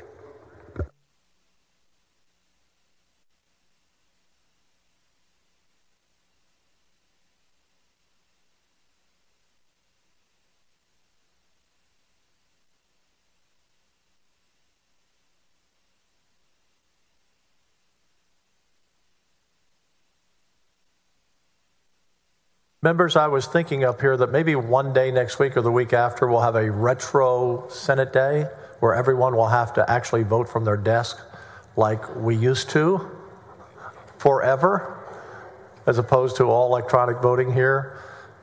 It would give her at least a break for a day of uh, keeping track of all of your votes. So I think I'll give you fair warning one day next week. That's the way it was when I was a senator. It was hold up one, hold up two. You can you can wear your retro jerseys that day, your you know your throwback uh, jerseys. Just kidding on that. Still shirt and tie. That's right. Senator Perry, you're recognized as committee substitute for Senate Bill 2440. Suspend the regular order of business. Thank you, members, Mr. President. Uh, Senate Bill 2440 addresses issues where buyers of a home may not have access to pro- promised groundwater resources. The re- bill requires those subdividing land for purchase where each house will rely on a personal well for water supply to verify the existence of available groundwater. It's currently in statute. It's making a may to a shall. With that, I've moved to suspend the regular order of business.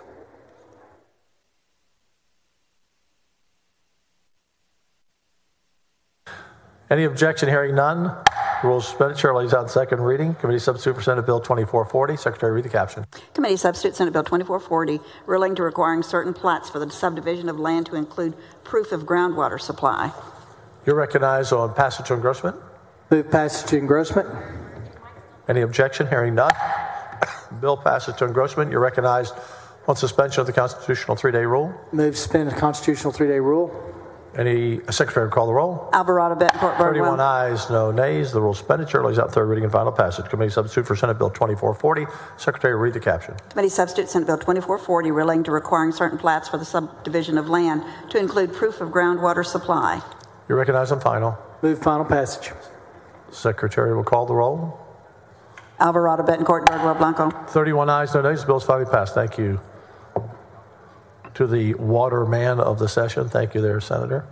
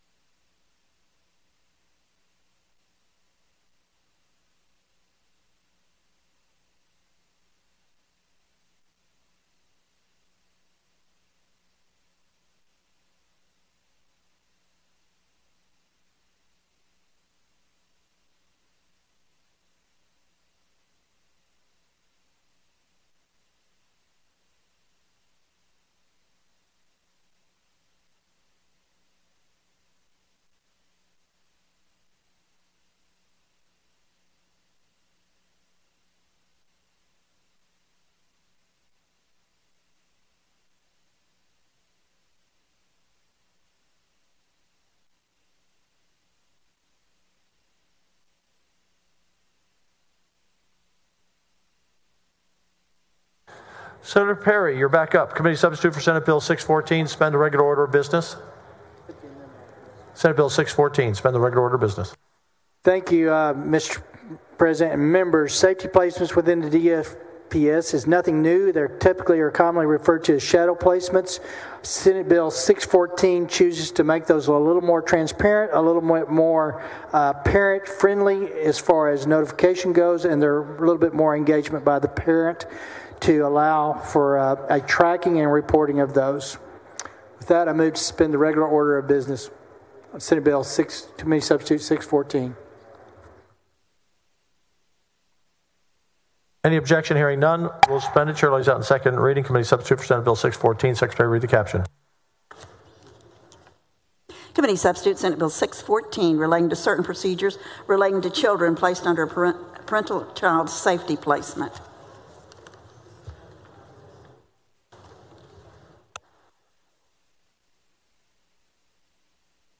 You're recognized on passage to engrossment. Move passage to engrossment.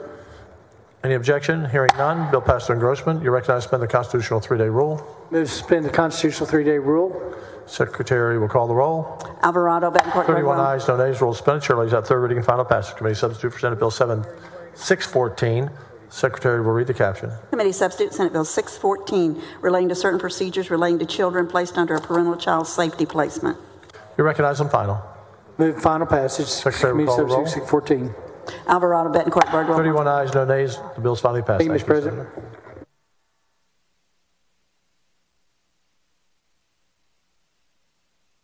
Senator Bettencourt.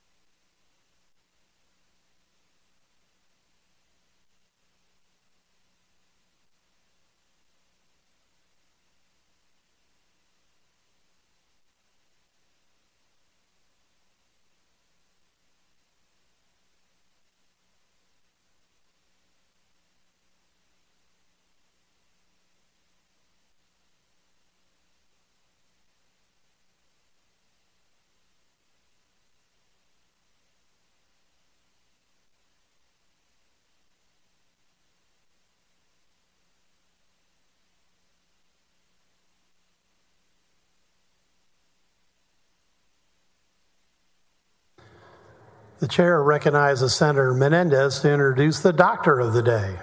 Well, thank you, Mr. President. Members, today we are fortunate and blessed to have not one, but two doctors of the day. And so I want to introduce both of them. And First, uh, please help me recognizing both Dr. Cristina Cepeda as one of our doctors, and Dr. Cepeda graduated from University of Texas RGV School of Medicine, then completed her residency at UT Health Science Center at San Antonio, my hometown. And uh, also in working with the UT Health Science Center, Dr. Cepeda has made great strides to ensure that families in our community can meet their full health potentials. Very important that we recognize the importance of doctors like Dr. Cepeda because without them, we could not have the advancements in science or proper care that we need to stay healthy. And she has shown she's dedicated to helping everybody in her community. Alongside her, help me in welcoming Dr. Yun Shi. Uh, Dr. Shi obtained her bachelor's in medicine at Beijing, China, then continued to San Antonio for her PhD in physiology. And shortly after graduating with her PhD, Dr. Shi decided to come work for the University of Texas Health Science Center in San Antonio. And at UT Health Science Center San Antonio, Dr. Shi has helped many patients in our community and gives back everywhere she can through her volunteer work. She has been active in the community, remains active in the medical community by participating in medical societies such as the North American Primary Care Research Group and the American Association of Family Medicine. Members, please help me welcome both Dr. Cepeda and Dr. Shi and thank them for their service to Texas. Thank you and welcome to the Texas Senate. Appreciate it. Thank you, Mr. President. Thank you, members.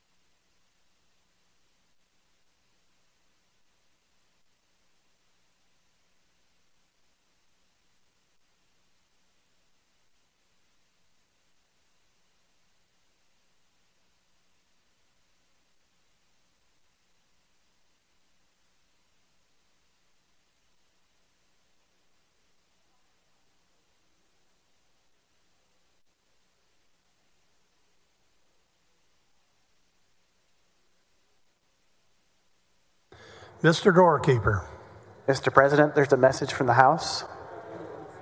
admit the messenger. Mr. President, I'm directed by the House to inform the Senate that the House has taken the following action. The House has passed the following measures.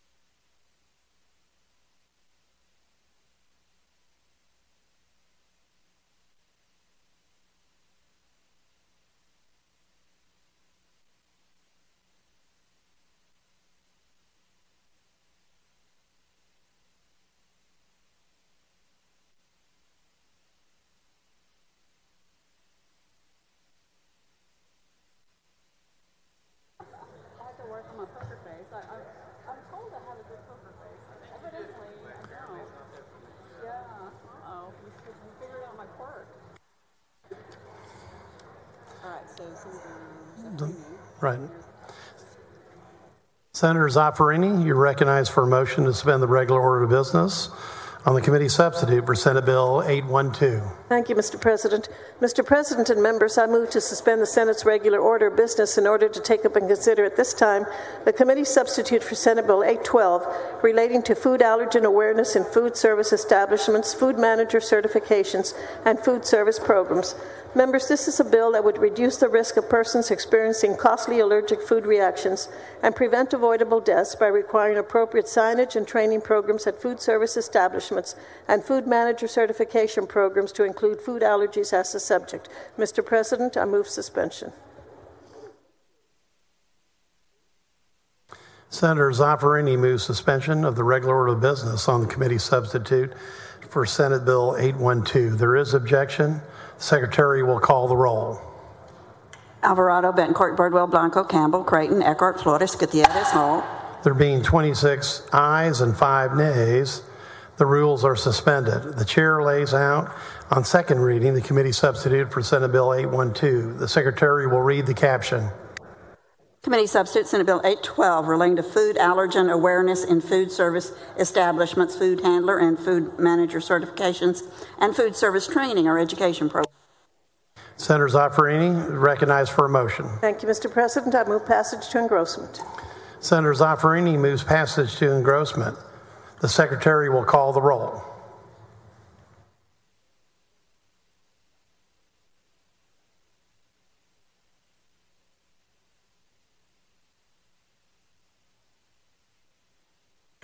Alvarado, Bettencourt, Birdwell, Blanco, Campbell, Creighton, Eckhardt, Flores, Gutierrez. There being 26 ayes and 5 nays, the bill is passed to engrossment. Senator Zaffirini is recognized for a motion to suspend the constitutional three day rule. Thank you, Mr. President. So moved. Senator Zaffirini moves the suspension of the three day rule. The secretary will call the roll.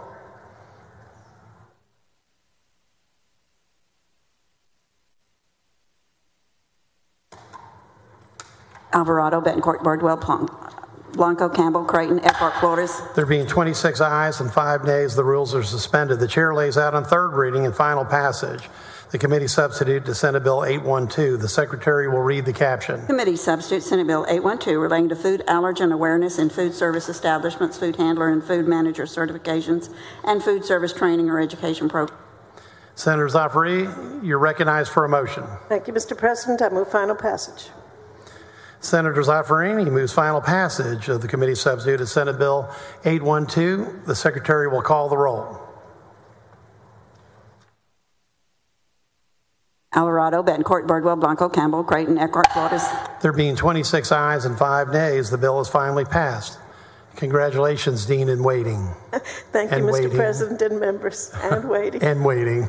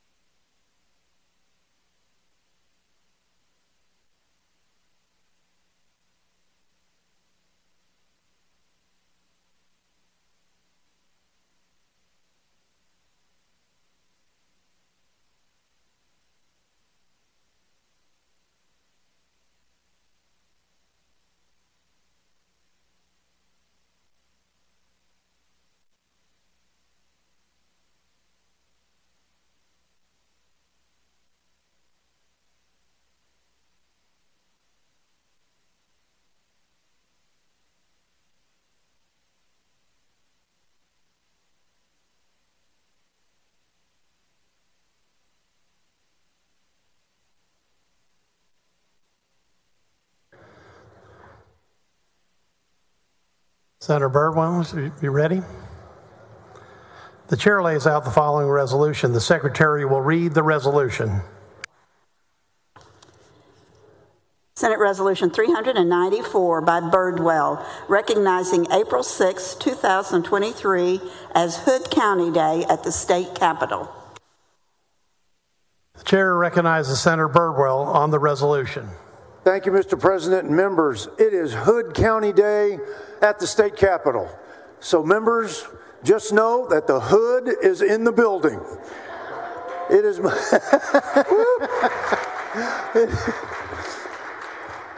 Hood County was created by the 11th Texas legislature in 1866 and is the county seat is Granbury, my, uh, my home, which was founded in 1854. Hood County is home to the historic Hood County Courthouse, and Granbury has been recognized three times by USA Today as the best historic small town in Texas.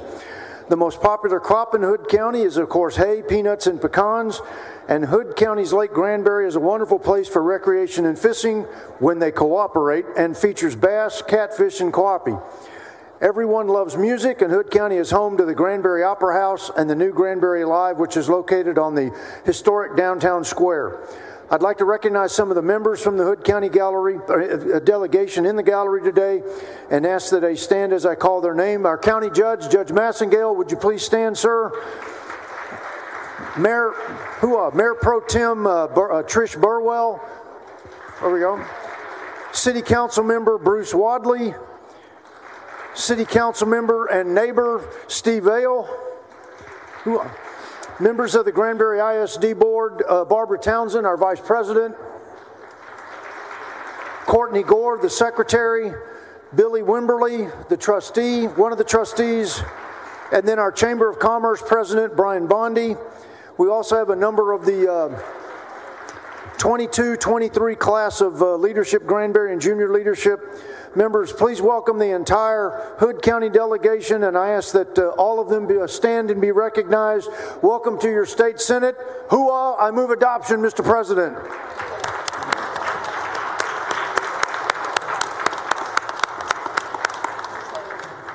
Senator Birdwell has moved adoption of the resolution, and how could we resist the hood being in the building? I assume they're headed to the House next, so there'll be the hood in the House. All right. Is there objection to the uh, to the resolution? Chair hears none. The resolution's adopted. Thank you for coming, Hood County.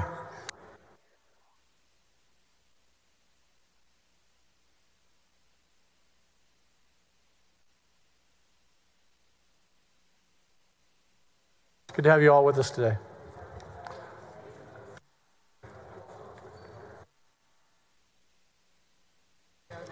Senator Birdwell, we'll let you pass an important bill in front of your Hood County, okay? Yes, sir. You're recognized to suspend the regular order of business on SJR 59. Thank you, Mr. President and members. I move to suspend the Senate's regular order business, take up and consider SJR 59. Members, the Texas legislature has a constitutional time stipulation of convening 140 days every odd year. Additionally, the first 60 days are limited to specific items, with the first 30 days devoted to emergency appropriations, confirming gubernatorial appointees, and emergency items as submitted by the governor. The remaining 30 days, the various committees may hold hearings for pending business and the governor's emergency items. Members, during a 730 day biennium, the executive and judicial branches are at work with all of their constitutional authorities the entire 730 days. Members, it's really noisy in here. It's really hard to hear the senator. So if we can have some order, thank you. Thank you, Mr. President. The legislature currently may only work at its discretion and at its will for 80 days out of that 730. In our 140 day session, the first 60 days, we may only work on those nominations and emergency appropriations and, and the governor's emergency items, as I'd mentioned, as designated by the governor or by four fifths of the members of the body wanting to bring something to the floor. Four fifths is an incredibly high threshold, and in fact, it exists nowhere else in any other state element of of uh, the state constitution or in our federal constitution, there is no threshold set that high. Members, SJR 59 would afford the legislature more time to exert its will and members to address concerns that many of you had after it came out of the State Affairs Committee unanimously. I will have an amendment that changes the 60 day preclusion from 60 to 0 to now 60 to 30, where we would have 30 days, similar to what we have now, but also place a two thirds threshold on the members that if they wish to bring anything to the floor in the first 30 days. So, members, I ask your favorable consideration. This would allow the legislature to exact its will for 110 days of the 140 days of the legislative session rather than for only 80 days of the 140 day legislative session. With that, Mr. President, I move suspension. Senator Menendez, what purpose? Ask questions of the author. Do you yield? Yes, Mr. President, I yield. Thank you, Mr. President. Thank you, Senator Birdwell. Uh, Sir Birdwell, you, um, you, you served in our military forces in the Army, correct? Yes, sir. Is, you're familiar with that phrase. What's that phrase? Hurry up and then wait? Uh, yes, sir. Hurry up and wait. Yes, sir. Hurry up and wait. Does it sometimes feel like to you like that's what we do around here? That is that is true. Um, I won't use some of the more descriptive language you and I have had uh, about the session uh, uh, uh privately. Right. But, but, yes, look, there there's merit to in, in making this adjustment. And look, the, the, amendment's not before us yet. That amendment will come. Right. Um, but there's there's merit to it uh, for the amendment, and merit to going from instead of 60 to 0, 60 to 30 uh, because of the Ledge Council. We've had some challenges with Ledge Council this go around and being prepared to hear bills. Um, but my biggest concern in bringing this is the legislature is the embodiment of the will of the people of the state of Texas. Correct. When Madison wrote in Federalist 51 that the legislative body must necessarily predominate, because of that predomination, the founding fathers at the federal level divided the legislature into two distinct bodies to dilute that supreme power of the legislative branch. Because while we are equal in our sovereignty across the jurisdiction called the state of Texas, we are not equal in our combat power. And I, I shouldn't say combat because that's just an old soldier talking to you, but, but the legislative branch, if two thirds of us wish to do something, there's very little the other two branches can do about it. And so the founding fathers, wanting to dilute to a degree the legislative branch's power because it was supreme and must predominate, they diluted it to make it more difficult to dominate.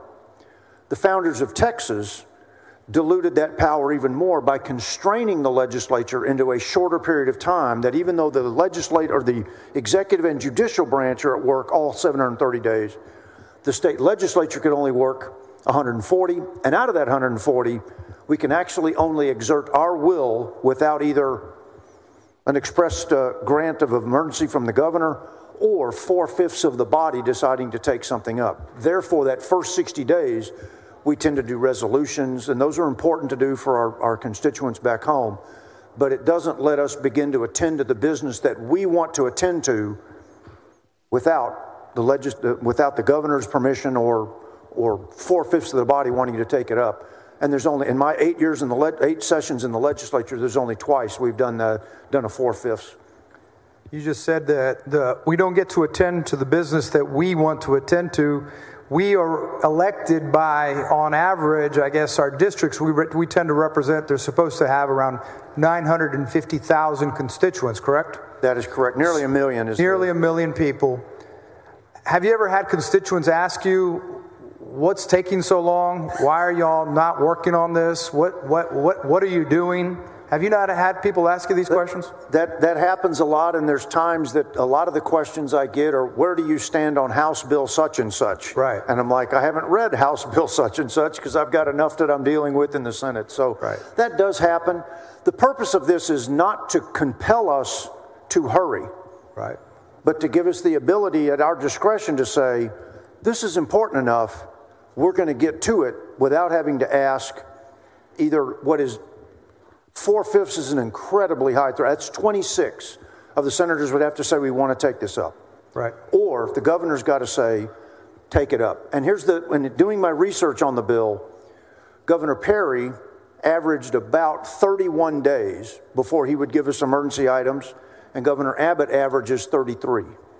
So you're already halfway into the session or halfway into that 30 day period or 60 day period as it is now before the governor normally would give us a, uh, an emergency item.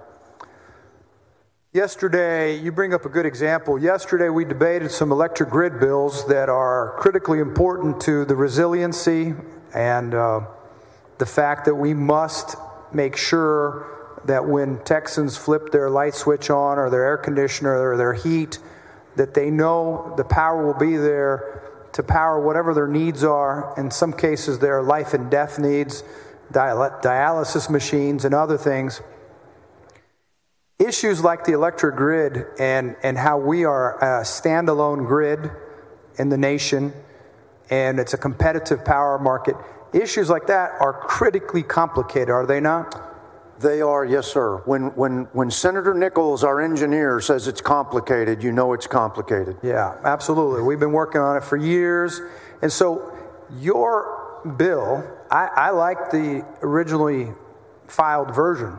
And the amendment doesn't seem to water it down too much. But your bill just says we can start working, taking testimony deliberating sooner on things that are right. that we deem important that we believe are necessary for us to represent our constituents because when we vet information we can get a better work product I believe so, absolutely. What the while the amendment's not before us, the amendment would that that I bring forward takes it from instead of 60 to 0, 60 to 30.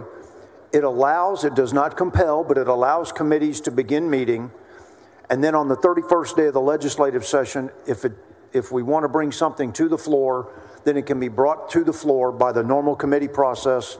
Committees can hear bills and other things in those first 30 days. The governor can still give us an emergency item in the first 30 days if he wishes to do so. We can take that up, bring it to the floor, but it allows us to the discretion to work our will if it's something we think is important enough without the four fifths or the chief executive giving us the word to go. Yes, no, very thorough explanation. Um, you've been in committees that have been meeting at 1, 2 in the morning after we've been in meetings for probably 12 hours, 15 hours, 16 hours. Is that when we do our best work? Um, I like to think we do great work. Um, but is it but, when we do? Uh, is it optimal? But uh, it, it's a lot like Ranger, Ranger School. No food, no sleep, uh, and you're still expected to perform. Yeah. Uh, and so, what, what, was it, a couple weeks ago on uh, on school choice? We were in the education till just after midnight. Mm-hmm. Last session we've had them, so we've had those sessions where things will go long. Yeah. That's part of the duties. We get paid, you salute, and you move out. But well, uh, yes, and, and, I'm not questioning anyone's commitment. What I'm saying that is, if we get to work, start the work earlier, we don't have to pack the committee meetings with so much information, we can dedicate more time to individual subjects so that we don't have to have meetings. Well, uh, you know, we're elected to be here, but our constituents who want to come and testify on these bills have lives.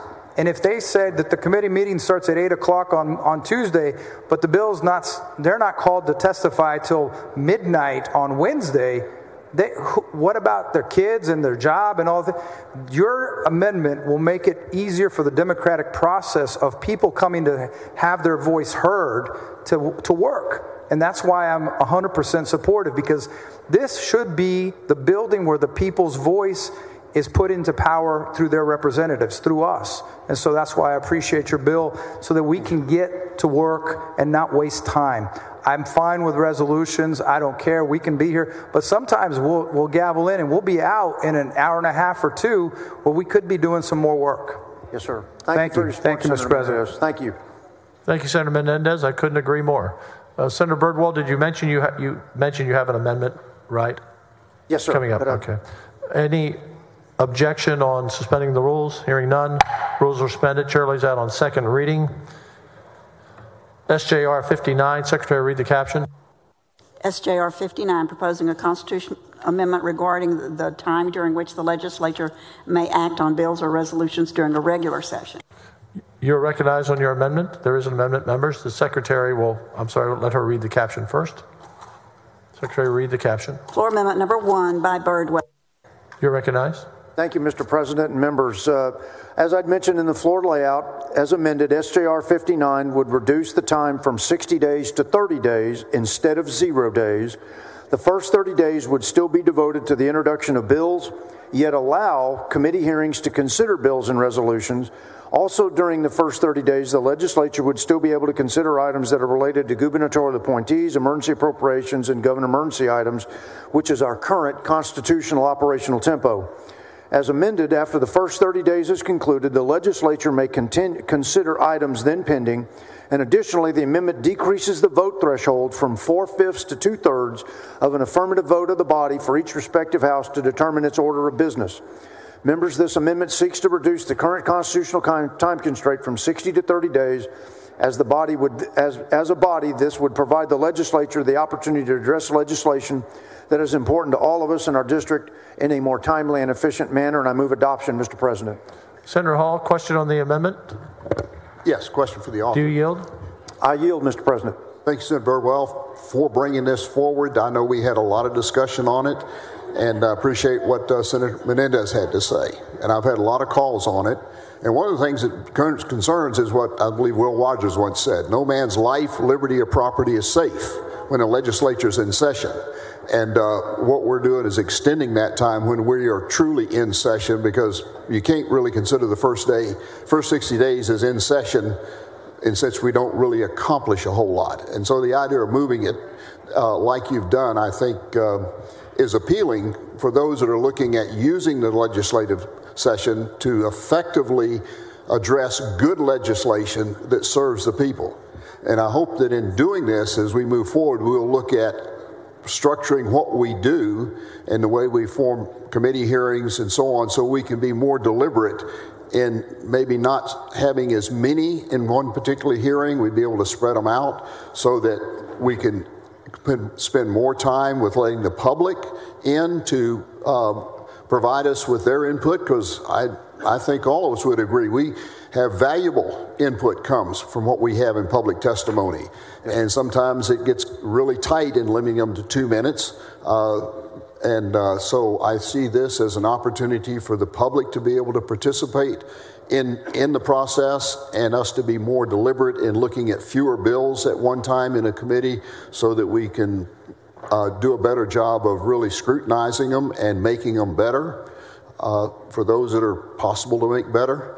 Uh, but uh, I think this moves us in the right direction so long as we take advantage of what it offers us. And that is more time to do, not look at it as an opportunity to be able to pass more bills, right. but look at it as an opportunity to make sure that the bills that we pass are better bills more work on them. Maybe even end up with fewer amendments on the floor because we took the time in the committee to dig into them and let the public participate in it. So I see this as a possibly a, an experiment for next session. And then maybe after that, we'll take a look and see what it did. And there's still another 30 days in there that we might want to look at if we see that what we're doing really works. And of course, we can always come back and change it if it doesn't work. But uh, just doing it because that's the way it's always been done before, we live in a different world today than when those rules were first written. It's a, it's a different pace, it's a different set of tools uh, all the way around. And so I think it is very reasonable that we take a look at rules that were put in place a long time ago for an entirely different, that don't even exist for today. Not many people come to Austin on horseback. That's correct. Or in a wagon anymore. and so it's, it's, an, it's a different world here. And so I think it's very reasonable that we do this, recognizing it's going to be an experiment let's see what we can do to make the best of it. And thank so you, thank Senator. you for bringing this forward. Thank you. I appreciate it. I could respond in so many ways, but I, I won't belabor it. I'll just simply say I concur and thank you for your strong support. Thank you, Senator. Thanks. Senator Bettencourt, what purpose? Ask a question of the author. On the amendment. On the amendment. Yes, sir. I yield, Mr. President. Uh, I just wanted to say, Senator Birdwell, because I think everyone on the floor knows that uh, effectively you're our constitutional scholar. And I see, however, we have quite a, a, you know a gallery today, And it looks like a school just showed up, which I think was a preparatory school, right, Scott? Do- Am I guessing correctly? And right, he's the he's the chaplain up there, and they're going to get to witness something that we don't do very often, which is uh, you know propose amending the Constitution. True. Um, amending the Constitution is in- deliberately hard um, and appropriately so. And that's why I've worked this bill and worked the amendment the way I have uh, to reach that, uh, uh, that agreement among the bulk of the body um, because there, there is a great degree of frustration um, at the, the volume of things we try to do in a very compressed time. Uh, I would rather we do quality work rather than compressed work. You know, because at the end of session, and, and this would afford the House the same ability. Uh, that's why it's a constitutional amendment because it would afford the House the opportunity to, uh, depending on what they do with the bill, how they may organize. Uh, they've got to choose a speaker. We don't have to do that. Our, our president is uh, determined by the, the will of the, the voters of the entire state. But I appreciate your kindness. Uh, Well, that's true. I, I imagine you, like George uh, Mason, um, you know, Madison, you name it, uh, back, uh, uh, you know, back in the late uh, 1790s and 80s, talking about the Constitution and the Bill of Rights and and all the interplay. And I just, while we had a, a, a group here, I wanted to make sure that the, the, the, school group realizes that we don't propose amending the Texas Constitution every day. Um, and it certainly doesn't happen on a federal level, but it's quite actually a treat for them to see the constitutional scholar of the Senate proposing another very good amendment uh, to the uh, uh, to the Texas Constitution, and uh, it will offer their parents a chance to vote on it in November if passed by the House. That's correct. So good, thanks for the good work as always, Senator Birdwell. Hoo-ah. Thank you, Senator Bettencourt. Thank you for your work this session, all the, uh, the election related items that you've been working on. Thank you, sir. Any objection to the amendment? Hearing none, the amendment is adopted. You're recognized passage to engrossment. Move passage to engrossment, Mr. President. A- Any objection? Hearing none, bill passes to engrossment. You're now recognized suspend the constitutional three-day rule. So move, Mr. President. Secretary will call the roll when ready.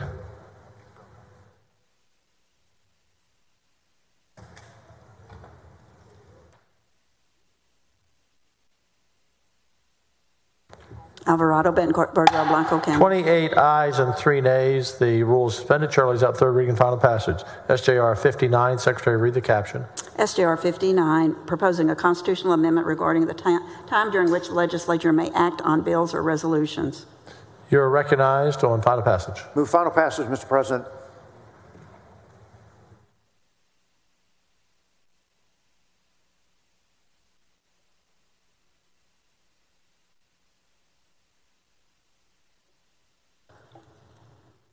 Secretary, call the roll.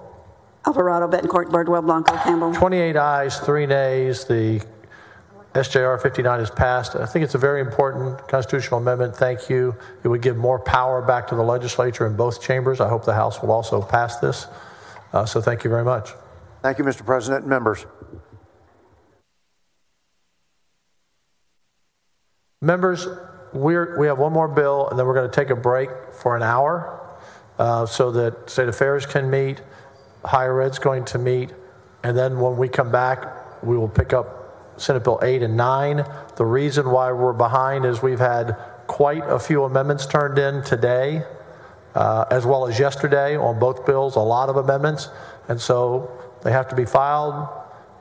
Got to get it all organized. So that's the reason we're we're a little behind today, but it's the amendments that we have coming in, and we'll uh, address those. So we'll to hear this bill, and then we'll break for an hour, and then we'll come back. So Senator Mayes, you're recognized on committee substitute. I'm sorry, Middleton. Mayes Middleton, sorry. Uh, committee substitute for Senate Bill 175, spend the regular order of business. Thank you, Mr. President. Members, um, I move suspension of the Senate's regular order of business to take up and consider committee substitute for Senate Bill 175. Senate Bill 175 will ban the practice of taxpayer funded lobbying in Texas.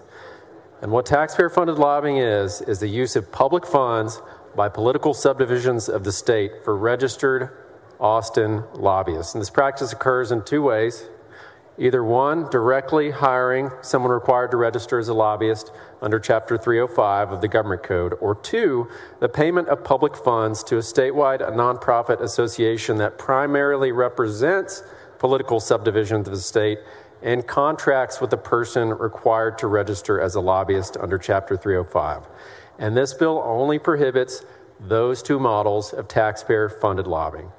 It is fundamentally wrong that $75 million a year of local tax money, your local tax money, is spent annually on Austin lobbyists that act as a middleman between local and state elected officials.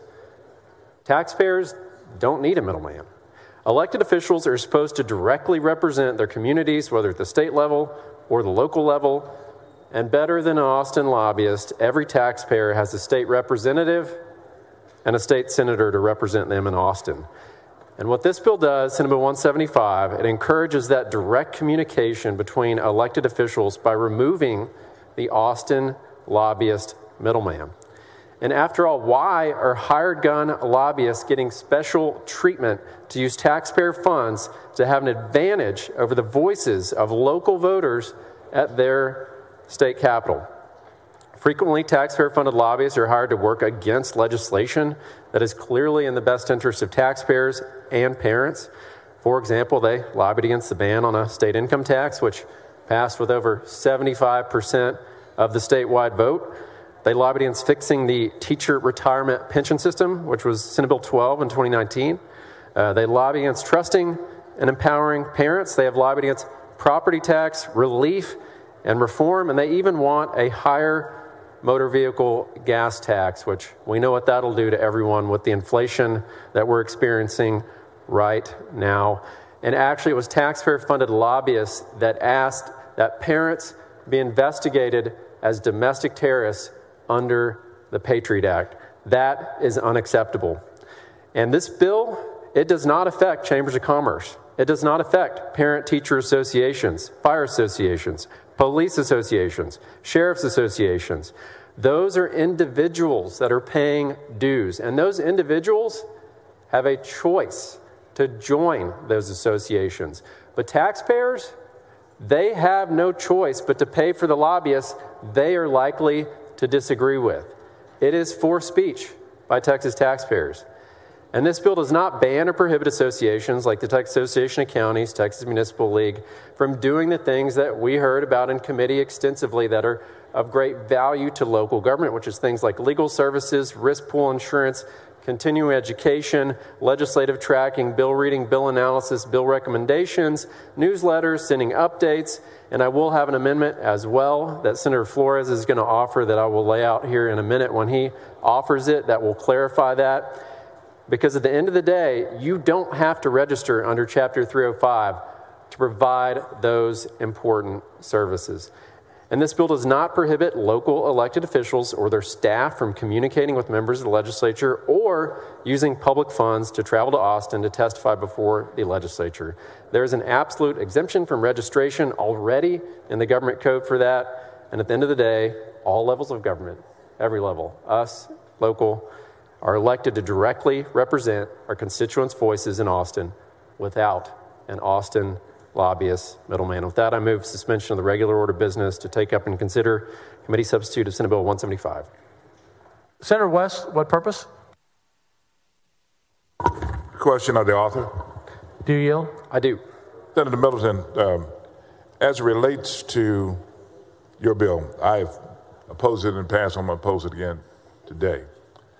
But let me ask you this question Does the state of Texas pay lobbyists to lobby for it in Washington? And if they do, if it does, you would want to ban that also, correct? That is a great question, and I'm very glad you brought that up so I can clarify that. We do not have registered lobbyists in Washington, D.C. They are employees of the Office of State and Federal Relations, which is allowed just as this bill allows employees of No, local I, government. No, I understand that. I understand that. I'm saying, so we don't employ independent lobbyists on behalf of the state of Texas? This bill only addresses registered lobbyists, and so Office of State and Federal Relations Those are employees of the governor's office, I'm, much I'm not as county talking about judges' them. employees I'm not talking about them, sir. I'm asking you, does that office employ independent lobbyists that they utilize on a case by case basis? Are you, are you telling us that the only quote unquote external affairs persons that are used by the state of Texas in Washington, D.C. are employees of the governor's office? Is that, They're is that not what you're saying? registered lobbyists. That's, they're not registered lobbyists. Are you sure about that? We don't employ any registered lobbyists in the state of Texas. Uh, in- Political in Washington. subdivisions do. No, I'm not talking about political subdivisions. I'm talking about Washington right now. Office of State and Federal Relations, they're not registered lobbyists. They're not. Well, again, you, well, maybe I'm not answering the question correctly. Let me let me slow down. Does the office of federal lobbyists that is employed by the governor's office hire outside lobbyists to work on behalf of the state of Texas? That's the question. OSFR does not have registered lobbyists. No. I'm sorry. OSFR does not have registered lobbyists. When you say they don't have registered lobbyists, you're saying they do not hire registered lobbyists? Right. And this bill only applies to the state level, you know, Okay, well. again, right? again, I know what the bill applies to, all right? But when you say they don't have registered lobbyists, are you saying that they do not hire outside lobbyists? Right. That's the Contract lobbyists, correct. Question. And you're sure about that? I'm sure about that. Okay.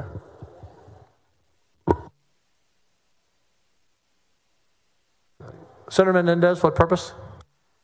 Thank you, Mr. President. Just uh, ask questions of the author. Do you yield? I do. Thank you, Mr. President. Thank you, Senator Milton. Um, so, I was also under the impression that even though we do have an office of state and federal relations in Washington that we hired outside lobbyists as a state of Texas, maybe we don't do that anymore. Um, let's let's move on from there. Uh, does this bill impact any hospitals or teaching facilities that, that hire outside lobbyists? Does it prevent them from doing that? So this bill applies to all political subdivisions of the state, but of course, there's going to be an amendment that Senator Flores is going to lay out to clarify what those associations can and cannot do that I think be, be, may be helpful to your question here.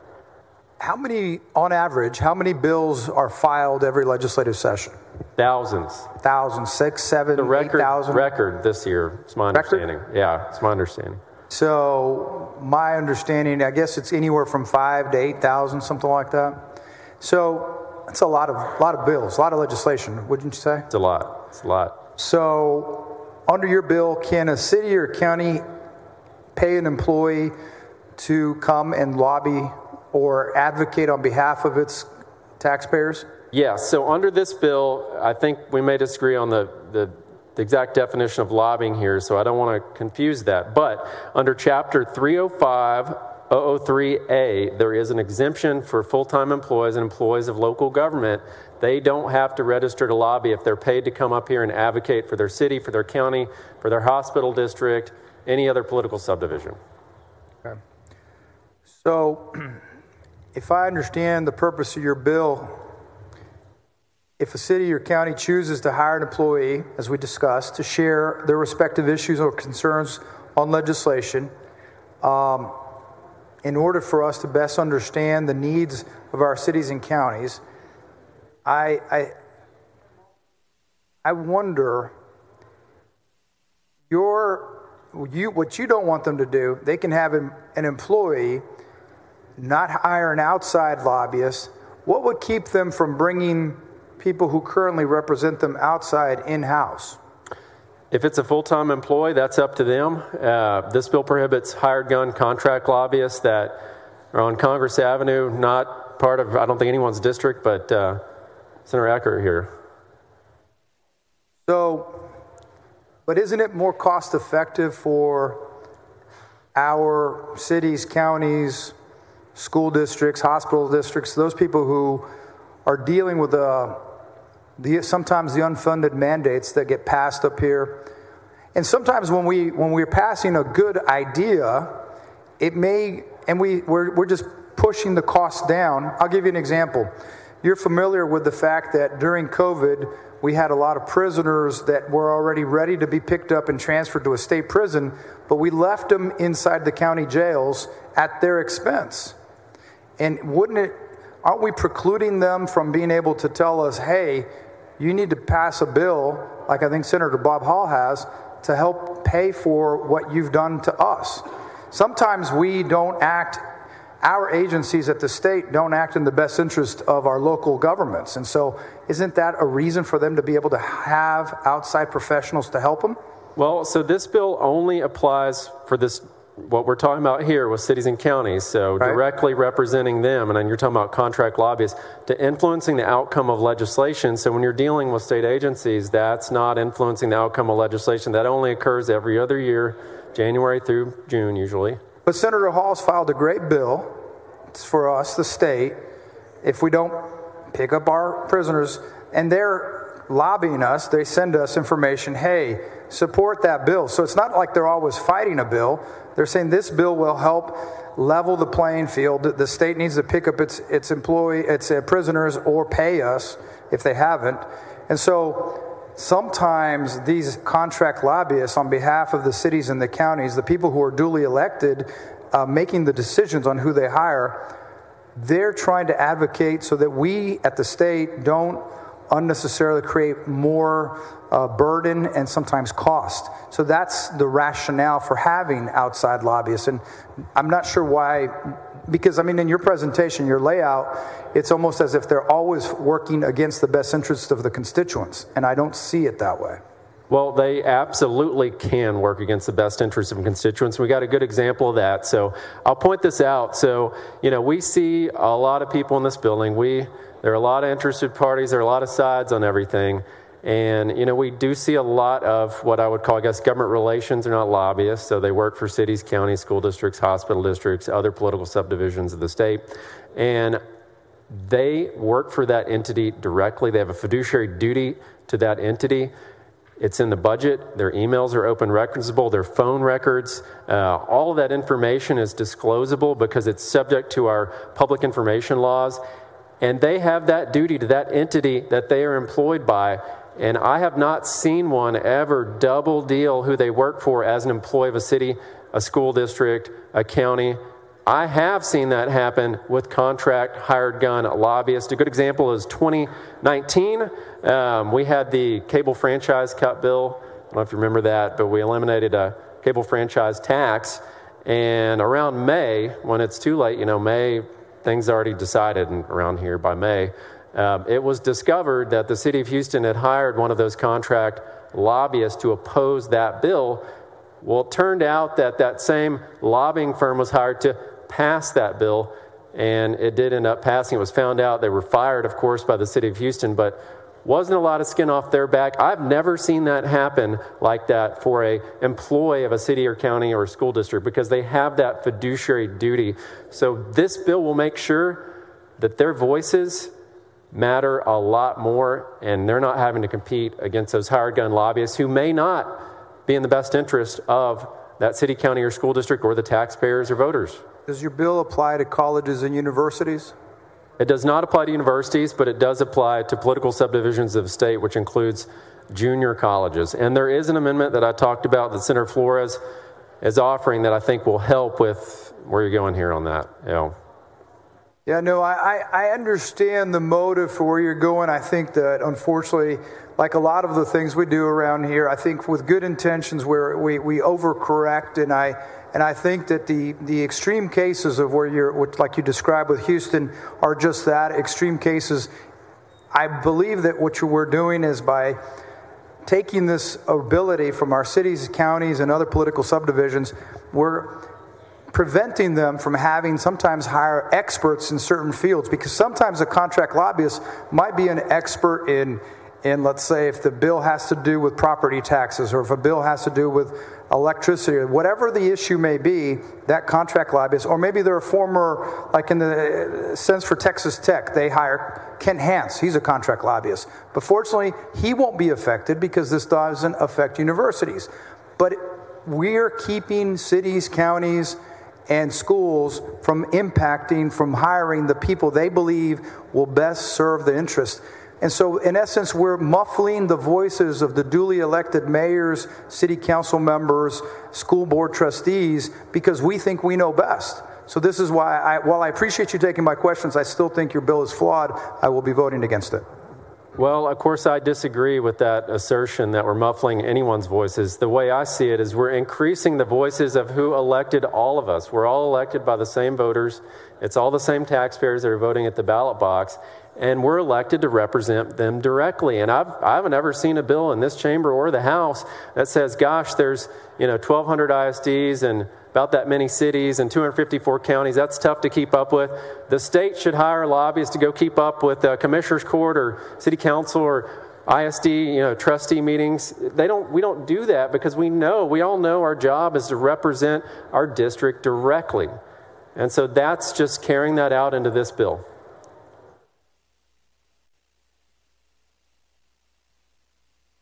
Senator Eckhardt, what purpose? To ask questions of the author, Do Mr. you yield? President. I do. Thank you so much, Senator Middleton.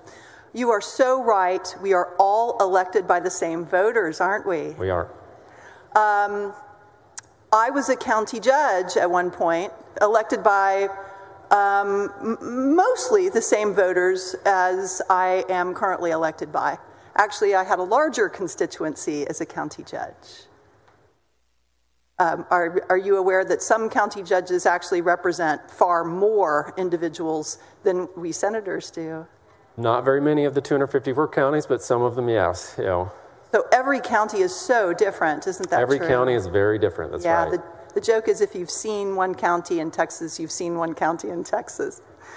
Um, I want to go back to Senator West's line of questioning for a moment. You said that the state does not hire any federal lobbyists, Through OSFR, they're not registered lobbyists, correct? and yet the OSFR website says state lobbying disclosure. Agencies or political subdivisions of the state by law must report to the office on any contract or subcontract between the agency or subdivision and a federal level government relations consultant. So some agencies of the state do hire federal level government relations consultants, don't they? No, the word lobbying in there is the same term that Senator Menendez used, which is not Chapter 305. It's not registered lobbyists. So you have to go to the Federal Election Commission and look up and see if they're they're registered and they're not. It was Senator Perry, sorry, Governor Perry, that fired the state's registered lobbyist about 15 years ago. At one point, the state did have them. They, we do not anymore. It's my understanding that some state agencies do contract with federal lobbyists, including TxDOT. Are you aware of that? There are grant making. There are grant making requests that TxDOT makes, but the Office of State and Federal Relations, that Senator West pointed out, does not have registered lobbyists. So you know, this, this bill does not impact the way they operate right now. And in fact, it encourages what I talked about earlier, which is you know, those employees of local government, just like the employees of state government, go into Austin, go into Washington, D.C., to make their voice heard directly on behalf of you know, the state or political subdivisions of the state. So this bill will not prevent TxDOT from continuing in their contractual relationship with their federal lobbyists, will it? No, no, this is only a state level. So um, these local governments and local governmental entities, they're our partners, are they not? Yes. Um, whether or not they join an association, they're still our partners, yes? Yes, they're all the political subdivisions of the state, you know, and we're all working together all the time to make this a better place to live and work. And it's important to know their thoughts on proposed legislation affecting them, yes? Right. How do you uh, get your information from your local uh, governmental entities? The best way is directly. So I think everybody in this chamber probably has the cell phone of nearly every local elected official in their district, and that's the best way to do that. Do you reach out to get information from local elected officials in other parts of the state? I hear from them. So I've had a number of meetings this session actually from with county judges and commissioners in districts a long way away from where I live in my district and it's been it's always rewarding to do that because you hear different perspectives but I hope that's a common practice. I don't know, but um, every session I am meeting with um, local elected officials that are not in the district uh, that have concerns or support of particular legislation. So I think that's an important part of this process. Do you think it's possible to reach out to all 254 uh, county commissioners' courts across the state to find out how a bill will impact, uh, you know, your county versus how it might impact Llano County? That's why under this bill, we make sure that those associations that I think that's what you're talking about are still allowed, and it's in the law right now, but we make it explicit that they can do bill tracking, so for and against, legislative alerts, mobilize support. You know, a lot of the groups that we see in Austin, what they'll do, um, like the doctors or the nurses, uh, they'll put out a position, but then they'll get the individuals that are members to come and testify for or against or speak to members. Works the same way for associations, and this bill per- allows that and encourages that. But the entities who are members cannot contribute taxpayer dollars to them under your bill.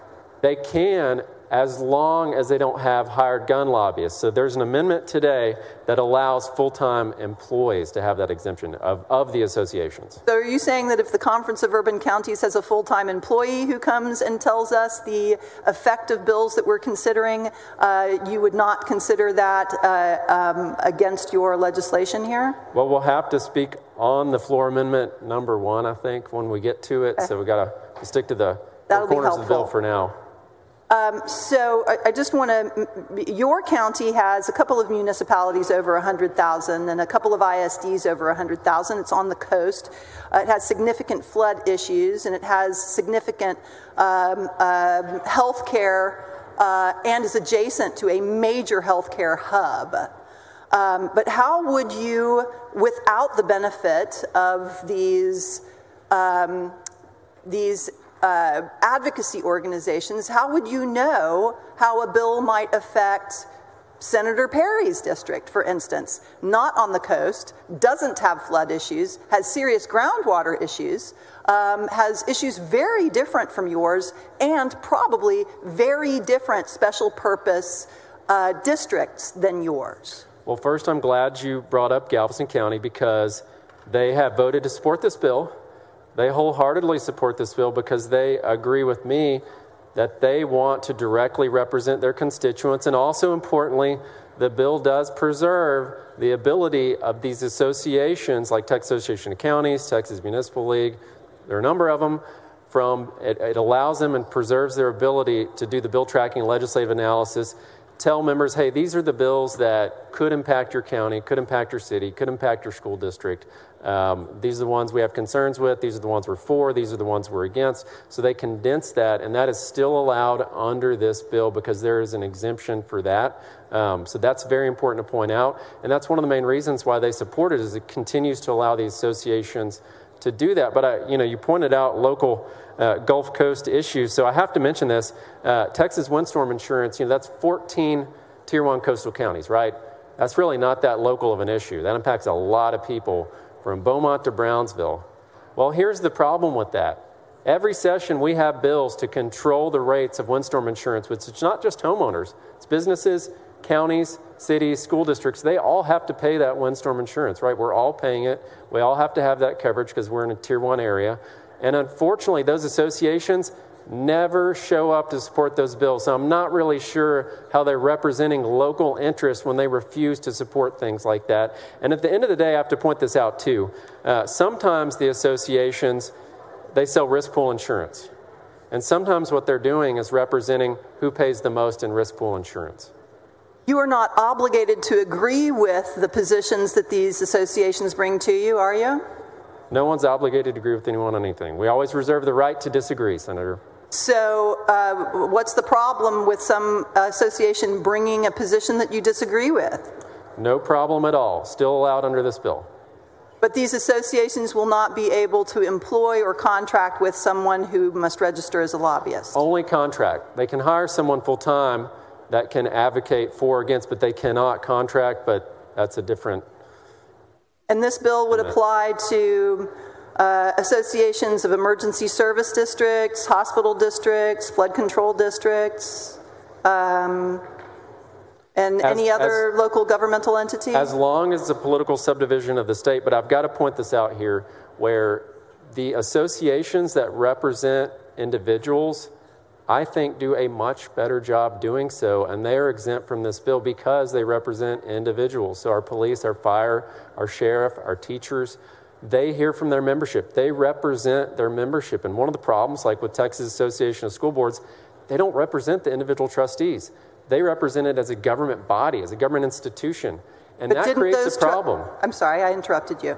That creates a problem. Who are they representing? Didn't those board trustees vote on their board whether or not to include their contribution toward the association in their budget? Are you talking about the dues? Mm-hmm. The dues don't pay for much lobbying. It's the $150 million in risk pool insurance that they're buying right now through TASB that that's paying for the lobbying. And guess how many employees the risk pool has? None. So they're cycling that money out to pay for lobbying efforts, which I think is very untransparent, and it's not right to hide that from the taxpayers. So it sounds like your big beef is with risk pool insurance providers and not necessarily with associations of local governmental entities lobbying uh, for or against legislation at the state of Texas. No, I'm giving you these as examples as to how they're not representing local governments the way that they're claiming they are. Thank you for answering my questions. Senator Bettencourt, what purpose? Ask a question of the author. Yield. I yield. Uh, Senator Middleton, this fight's been going on a long time, hasn't it? It sure has. Uh, in 2005, I believe uh, Senator Bettencourt held a press conference here in this building when he was Harris County tax assessor with uh, Ron Wright and uh, Cheryl Johnson, my Galveston County tax assessor, on this very subject with Peggy Venable. And well, it wasn't quite 2005, 2007. Okay, I'm sorry. Two years Let me just Yeah. read for uh, for the record here. January 16, 2007, at a press conference called last Thursday at the Texas Capitol by Peggy Venerable, director of the uh, uh, of the Americans for Prosperity, Cheryl Johnson, tax assessor collector. Uh, uh, you know, delivered a statement on behalf of herself and Harris County tax assessor collector Paul Bettencourt um, in the House Speaker's conference room. I mean, so think about it. This is, uh, let's see, do my math here quickly in my head 16 years, two months, and 20 days. Okay? So, Senator Milton, uh, why did you not attend this press conference? Where, where were you?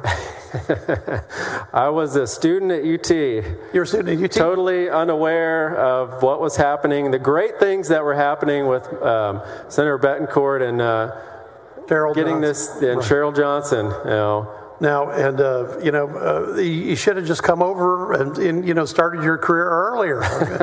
now, and on a serious note, uh, I appreciate you picking up this bill. We have passed versions of this bill for the last several sessions, but it is nice seeing the next generation picking up the torch on on a, on a literally on an issue uh, that started with um, people lobbying against tax property tax relief. That's really the kernel of my involvement in this because I was nothing more furious to me than having people come by and saying that, you know, just because we're not raising the tax rate, we're not raising your bill, and that was pat- patently wrong. But they were spending taxpayer dollars doing it. True? That's exactly right. I mean, we saw it firsthand, especially in the 2019 session, where you had people come to committee and say, I can't afford to pay my property taxes anymore. I'm being taxed out of my home. Please help me. And then a lobbyist sitting next to them that's paid to be there with their own tax dollars to lobby against them and say, no, no, we can't pass these voter approved limits on property tax increases. No. They were lobbying its voter approval. And uh, so, uh, so this uh, debate has been going on, you know, really for well past 16 years now. And more importantly, the concept is, but it's really simple. Don't use the taxpayers' money to lobby against tax relief.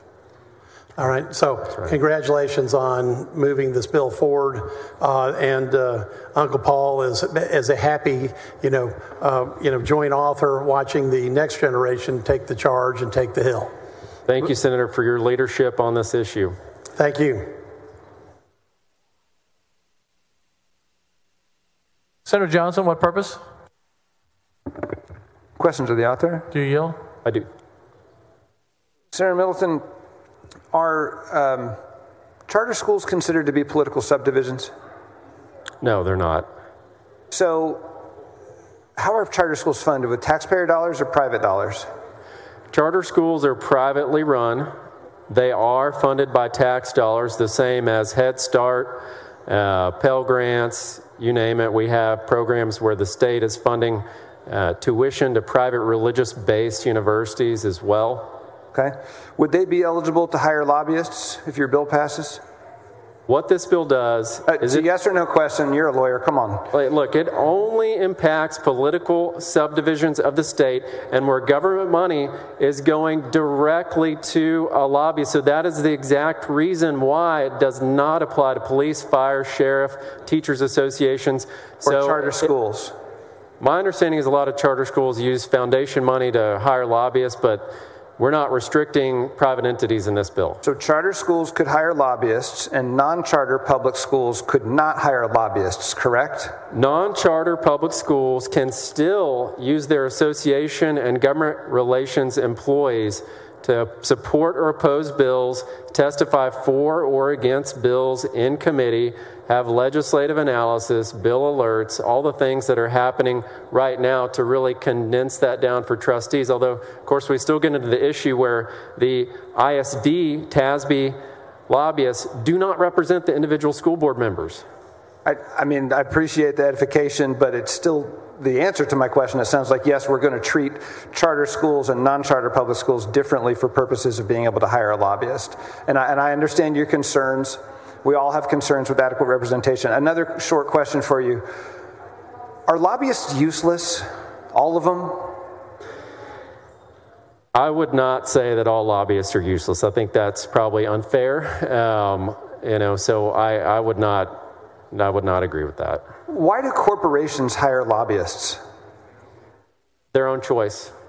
Well, it's why, do, why do they make that choice? I'm not going to read in why, but they make the choice on their own, and uh, it's up to them. It's their own money. Corporations don't get to levy a property tax on people by force, so it's a little different when tax money is going to a lobbyist, and if you don't like what they're lobbying on, quit paying your taxes, and someone's going to take your home. That's not the same. Right, but corporations, I, I guess, that since they're profit driven, they make decisions that that help their profits. So I guess they're figuring that by hiring a lobby, lobbyist, it's going to facilitate me being able to do what I need to do with respect to the state, right? I mean, They it's too speculative. I I grant you, too speculative. I'll posit that and ask you if might a city make the same calculation? I'm trying to represent my, my municipal constituents, and I think the most effective way I can do that is to hire somebody who understands this extremely complex building and they can't do it. But a corporation with whom that city might have to deal with, with, with whom that city might have to deal, can. Aren't you, aren't you tying their hands when they're trying to do their job with the most effective people possible? They're not, we're not tying their hands at all. I would say representing your constituents is the most effective thing to do possible. So having an employee of local government is very effective. And also, they can still utilize associations to do that. So, uh, bill tracking, legislative analysis, testifying for and against bills, uh, all the things that we heard in committee that are valuable. Smaller cities, typically, right? I mean, not not the big cities like Dallas so much. They tend to have their own government relations departments and you know a number of employees that handle cities- legislative tracking. Are, are, are the small cities the ones hiring lobbyists? Sometimes they do, most don't. I, I will tell you this I heard a story from a uh, state representative, I won't reveal the name, but for many years his city had had a taxpayer funded lobbyist. So, in other words, someone they contracted with, the hired gun that we're addressing in this bill. They had never heard from them until they showed up to his office to oppose the ban on taxpayer funded lobbying when their paycheck was at risk. So that, that shows you they are not representing the best interests of local government. That's called inductive reasoning, where you take one individual example and extrapolate it to be the general rule. It sounds like they had a bad lobbyist. But listen, you, we, we've had a nice exchange. Uh, I, I think it's interesting that this point falls directly along partisan lines. And it's large cities that tend to be largely Democratic and smaller cities that tend to be larger largely Republican. And the Democratic cities want to hire lobbyists, but the Republican small towns don't. And so the Republican voice, and, and I hate this partisan stuff, but how is this suddenly partisan? It, but it seems to have gotten that way, doesn't it? Well, it, it shouldn't be partisan, and it's not. Uh, the University of Houston Hobby School of Public Affairs, right, that former colleague Senator Watson ran, I think, at one point, right? Um, they did a poll, and I don't talk about polls a lot, but it showed that 69% of all Texans support the ban on taxpayer funded lobbying, 64% of Democrats, 71% of Republicans, 71% of, of independents as well. Some polls show up 91% support this. So I would say, do the voters support this? Yes. Do the politicians support this? Maybe not. Well, maybe it should be a, a, a constitutional amendment then. We'll put it to the voters as opposed to this body because this body does stuff that, that contradict polls all the time. But it's, it's been a healthy exchange. I don't think you're right, but I appreciate the dialogue. Thank you.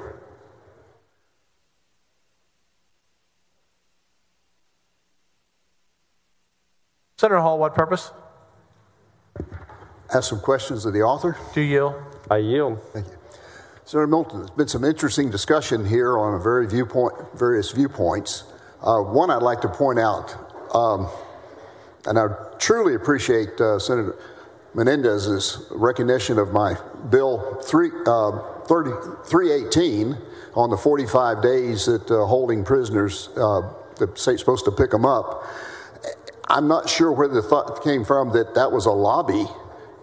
The, I was lobbied by our sheriffs who are having to pay for this. I got a phone call the sheriff said he was really concerned. It was about it. I called some of the other, other sheriffs. They said, "Oh, absolutely. I've been thinking about calling you on that, but you know, glad you did." I think what I found is um, that the lobby actually. Would you agree that it interferes with our communicating with our local elected officials? That's right. Um, I'll give you an example here where Texas Municipal League. Uh, I had a city manager tell me one time that they have a um, ethics code or some sort of uh, code that they um, ask them to support as city managers. And one of the things in there is they ask that they not come up and testify in Austin. In other words, leave it to us. We don't want to hear your voice. Let the real experts do it. Well, guess what? That voice may not always represent what the cities want, and that's wrong to tell them we don't want to hear from our city managers in Austin. Or to say that they may represent positions that people wouldn't agree with is probably an understatement. We got one of our major organizations from a national and at the local level, you may have remembered this, that referred to our parents that went to school board meetings as domestic terrorists. You recall that? I do, unfortunately. Yeah. TASB, organization that advises our school boards, a national organization. And we thought after the recoil from that, they might have learned their lesson. But they, they recently, they just put out a bill that uh, told schools that they need, needed to give all recognition to trans students at the sacrifice of straight students. They wrote that in there. Give them whatever they want, no matter what the impact is. They mocked parents this is a taxpayer funded lobbying group that also wrote in a letter that when you take students on an overnight field trip where they spend the night, you should let the students pick who they're going to sleep with, and you don't have to tell the parents about it. I don't think that would represent the value of many people in this body. You, you recall those? That's right. You know, I, then that's why we're hearing from a lot of ISDs right now. Car- Carroll already did, but a lot of other ISDs are interested in leaving TASB because, first of all, of course, they don't represent the individual trustees, but second of all, they're obviously not representing the district's values or the parents' values in that. You know, and it's it's unfortunate that parents or taxpayers too are having to subsidize something like that that is going against what parents want for their children. And it's not just the schools. We got our local governments. I believe uh, Texas Municipal League makes a lot of money off of taxpayer dollars. They opposed the property tax bill, did they not? They did. Uh, and after that bill passed, they put out a presentation that was called shaking the money tree. Well, the taxpayers are the money tree, and it was, you know, turning someone upside down, have the coins fall out of their pocket, a way to, to generate more fees to get around the property tax limits, which were not caps, they were voter approved limits, right? So they were against having the voters have a say in tax increases. In other words, they didn't want to hear from the voters. They didn't want to hear from them. No, that's that is absolute in your face. Uh, opposed to what we're trying to do here to protect property owners from excessive property taxes and other taxes. And, and I think you recognize what happens here. Anybody talks about a new revenue source, it doesn't go very far in the conversation. But you got an organization out there who's driving the local or other governments and ourselves. And not only that, but, but when we were trying to protect women and children in, in uh, locker rooms in the showers. TML was in there opposing that legislation. And most recently, I think they've opposed this bill. That's taxpayer money being used to oppose this bill. So they just, the lobbyists interfere with our relationship. I think the biggest thing about it is the locals that would use say, well, I don't need to talk to them. The lobby is going to take care of that. Interferes with them, our local elected officials communicating directly with us. I, so. I agree 100%. Um, that's what we're supposed to do. That's how representative government with the constitutional republic is set up for that to happen. Um, and at the end of the day, what this will do, it'll grow not just the voice of the vote, same voters that elect all of us, but the voice of our, our local elected officials too, where Congress Avenue lobbyists really are not doing a good job at all representing their vote, voice in their state capital. That, that's right. And I'll just close, wrap it up with restating it. The finest lobbying going on is when uh, one of our elected officials or more of them contact us, like they did with the jail situation. And I think everybody in here agrees that that's a responsibility of the state, and we should make sure that that happens. But that's the way things should be communicated elected official to elected official, and citizens to, to their elected officials here, not some hired gun that also works for a commercial entity that will use their relationship with the local government and lobbying for something that's going to benefit them financially indirectly, but they use the local government that's paying for it, paying them to do it in order to come lobby us to, to have something happen that they're going to benefit on the other end financially. So I thank you very much for bringing this bill forward, sir. Thank you, Look Senator. forward to supporting it. Thank you.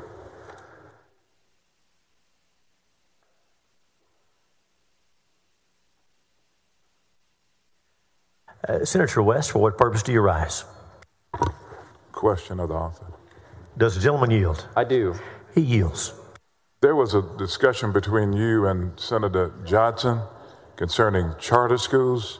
Yes. It's my understanding that the charter schools was a part of the bill when it was originally filed and has now been taken out. Is that correct? That was not in the originally filed bill, no. Okay, but should charter schools be included in this? The bill does not impact private entities, and as you know, charter schools are uh, run char- by private. We're not exempting anyone. We're just applying only to political subdivisions of the state with hired gun All right, so if you have a situation where, like charter schools, so it, it would apply to a public school district, though, right?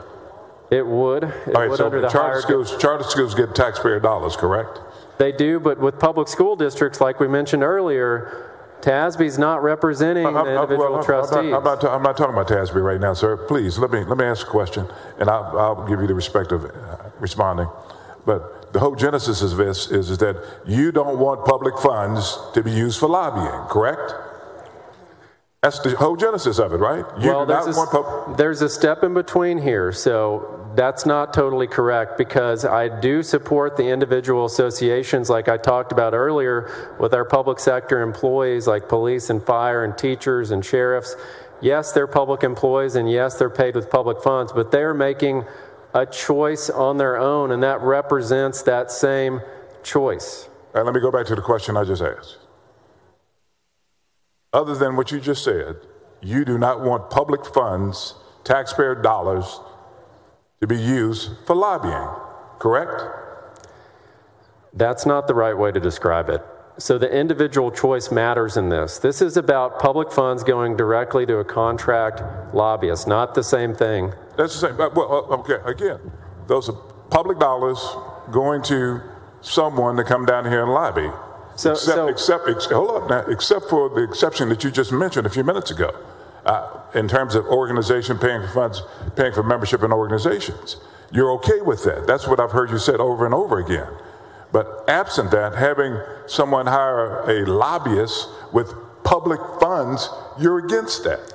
So charter schools that are usually uh, hold, nonprofits. hold, wait, wait, wait, hold it, hold it, hold it, hold it, hold it. The Let's not same as. St. Jude Hold that we just passed, by the way. Hold it, hold they have a lobbyist too. Hold it, hold it. Okay, okay, but if you don't mind, They just got some money in that bill. if you don't, if you don't mind, let me go back to the same question. You are against this bill. Basically, says that you are against the use of public funds to hire lobbyists, save and accept the exceptions that you just talked about. Am I right or am I wrong? Only to the extent it pol- applies to political subdivisions of the state. Okay, so if someone is getting public funds, they can hire a lobbyist to lobby. Is that what you're saying? Just like the St. Jude lobbyist I saw in the State Affairs Committee advocating for your bill that we just passed on this floor, where we're putting more money into that, of course. So, yes, I mean, that's, they're going to receive public funds. So charter schools are public schools, are they not? Charter schools are deemed public schools. That's Okay, so uh, so a public quote unquote traditional public school would be be prohibited under your bill, but a charter public charter school would not be prohibited under you, under your bill. Because they're do you private. see do you see they're- some inconsistency They're right there? privately run. The same thing that's in our budget that I think we're going to pass here soon. The House is working on right now. There are a lot of private entities in that, a lot in that budget that are receiving public funds. And what we're talking about in this bill is when local tax money, local public funds is Those going, dollars are local tax dollars, Senator. But there's a step in between where someone gets a choice in that step in between. But they're still local tax dollars, though. They are local tax. I don't see any inconsistency in your uh, rationale. I, I don't think it's inconsistent Okay, at all all. right. All right, that's so fine. with this argument, we That's would fine. have to That- that's- abolish That's fine. sheriff's, fire, right, so police. Let, let me ask, let me ask you this question. Let me ask you this question. You recall when I asked you the question about the use of public funds to lobby in Washington? Do you not recall that question? I, I do. All right. Do you, do you recall your answer to that question? I do. What was the answer to the question? So here's more. What was that. the answer to the question? We do not have registered lobbyists with the Office of State and Federal Relations. But would you be uh, shocked to find out that that's not true? That's not true. So in, in Would you be shocked to find out that based on the, from the Office of State and Federal Relations lobbying contracts in 2022 on the U.S. Senate website that there are several companies that were hired by the state of Texas using tax dollars, which is inconsistent with this particular bill, is it not? Well, so in Washington, D.C., I'll point out this. You have to register per chamber. So you correctly pointed that out. And right now, in each chamber's registration, the state, with Office of State and Federal Relations, does not have registered lobbyists, has not since Governor Perry. Well, hold on. This is 2023. And if it's something on the website in 2022, Perry was not governor then, correct? Correct. And I think what Who- you're who's talking governor? Who's governor in 2022? Governor Abbott, and I'll tell you There's this something on the website that says 2022. Senators, please don't talk over one another. Okay, so if if it's something on the website that says 2022, that's under the current administration, is it not? Correct. All right, so that would run counter to the intent of your bill as it relates to local subdivisions and the use of public dollars to hire persons or entities to lobby, correct? No, and I'll tell you why. Uh, go to chapter 305, and what you're referring to also includes political subdivisions of the state, right? So I'm talking is- about the federal government right now in I, Texas. I, I am too. I am too. And I'm right, talking. I am too. I'm talking about political subdivisions of the state. So under chapter 305, there is an exemption in applying for grants. So applying for grants from an executive agency is exempted from chapter 305, and I'll get the section of code for you here. Um, I can give it to you. But anyway, it's the same thing. Same thing.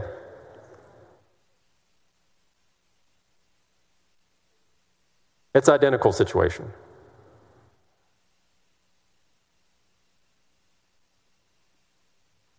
Would you object, given that the genesis of this bill, the whole purpose of the bill is not to use public dollars to lobby, save and accept those memberships in organizations? Would you accept an amendment to your bill that no state agency or state institution of higher education that receives state funds may use the funds to pay for a lobbyist, person, or company to engage in lobbying activities as defined in 2 U.S. 1602? So that is federal lobbying, and we had last session, and I supported this. There was a separate bill that prohibited political subdivisions of the state and the state from hiring registered lobbyists in Washington, D.C. That created a two subject rule that can't be done. Can't be done in this bill. So I cannot accept that amendment. It will kill the bill.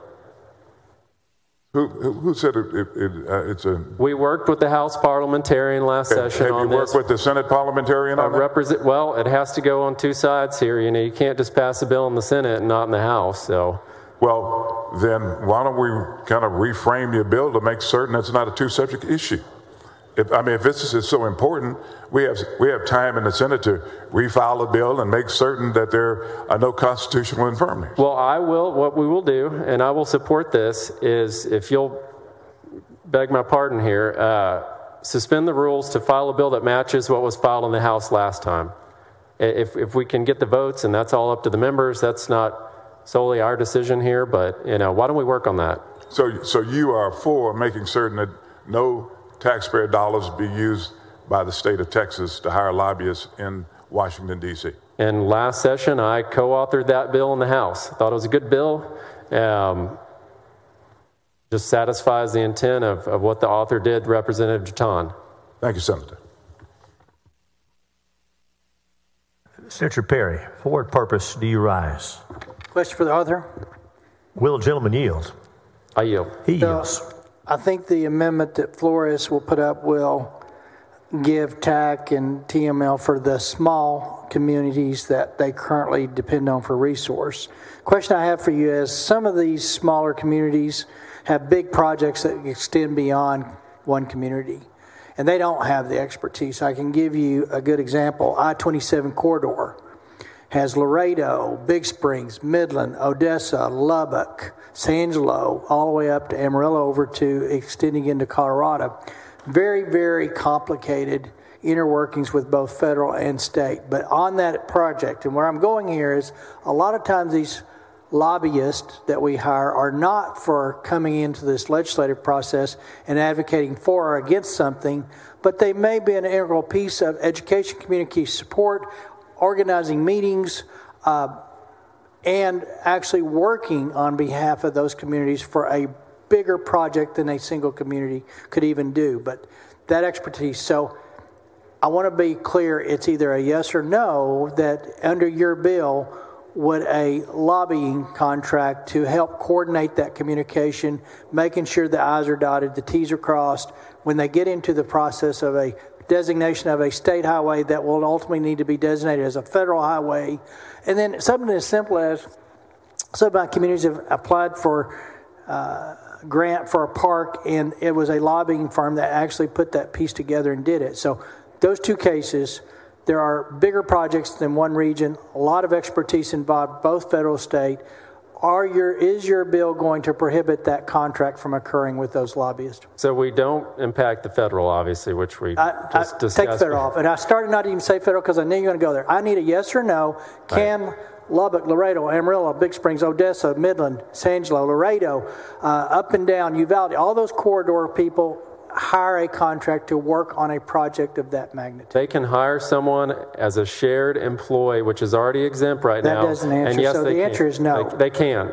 They can. Not a shared employee. I don't think there's any attorney firm in this state that would have a hired lobbyist contractor wanting to be hired from Lubbock, Midland, Odessa. I mean, who, who wants to be an employee of a local government to work on a project that when they have other billable hours at $1,000 hour that they're probably giving up different rates. So if it's, if, so the answer to your question is no, that would not be allowed. Well, but the highway may not, that may not be a bill because there is an exemption. This is only the influencing the outcome of legislation. So when you're dealing with TxDOT or Water Development Board or the Flood Infrastructure Fund like we passed or SWIFT or that, that's, that's state agency. That's not influencing legislation. So, So you can hire a contractor to help you with that. I know that's really important. I, I'm, I'm proud of the work y'all did in 2019 on all of that and the, the work that you're That's doing. a very clear distinction I'm trying Yes. to get for Yes. intent because Yes. there's difference Absolutely. in advocating for legislation. Now there may be a legislative piece down the road right. versus getting support and building that network of communities that need that legislation. Fifth, and they can hire someone to do that at any This time. does not not, violate not impacted by this bill All at all. so that was No. clearly something I needed to hear on the record. If it's a no, that's okay. I could be a no on the vote. If that's a yes, I just want to make sure that that's clearly not in violation of your bill because that is something every community, but smaller communities combined, need support because the process needs that network of information working before they ever show up down here. And that's why we were very specific on influencing the outcome of legislation, All right, directly thank or indirectly. So we would would cover you on that. Yeah. Thank you. Senator Johnson, for what purpose do you rise? Two point, quick points of clarification, Mr. President. Uh, for the chair or for the author? For the author. Does the gentleman yield? I do. I do. He yields. Unless the chair prefers that I address the chair. No preference there. Uh, Senator Middleton, I just want to clarify, if, in case it was lost in the muddle, there was a considerable amount of words exchanged on the question of whether or not the state of Texas hires lobbyists to go to Washington. What we have is a website from the United States Senate showing very clearly that the lobbying firms of Cassidy and Associates, DLA Piper, Ogilvy Government Relations, and the Ferguson Group have all been hired by the Office of State Federal Relations of Texas. So, as a, as a point of clarity, Texas does this in Washington, period. And yet we're saying cities can't do it in Texas. I just want to make sure that everyone understands that's the approach we're taking here. That what you're talking about right now is the same as what our state agencies do with political. like we just had the discussion with Senator Perry. Exact same situation where the state is working on the Harvey money. That's a good example, actually. Um, obviously, that was there a lot went into that um, buyouts. Are you saying they're not lobbying, basically? That we're hiring lobbying firms it's, to not lobby. it's the lobby? same situation as working with the state agencies as the federal, right? In conjunction with our political subdivisions of the state. And I think it's going to get really difficult to start drawing lines between what's lobbying, what's not lobbying. Final point we've already talked about charter schools and non charter public schools, but it could well be that after this session, we're using public taxpayer dollars to provide vouchers for grade school education at private schools, and they will be allowed to lobby. And no doubt they will be lobbying for more vouchers. And yet the public schools won't. Problem? Not a problem. Well, the public schools are making their voice heard because they have government relations employees. They have associations. Why don't the private They schools have, hire government they, they have employees? trustees. The private schools are private entities, just They- like the different groups that we talked about that are funded with our state budget under SB one Like corporations that could hire lobbyists. HB one. It's the same. They're private entities. We're, we're treating. There's the step in between because that money's not going directly to the private schools, by the way. No, it's filtered, right? So, so but, but we still is- have public education systems and private education systems that are supposed to educate the public under two different sets of rules. It's untenable. It's bad policy. I won't need to speak on third reading. Thank you.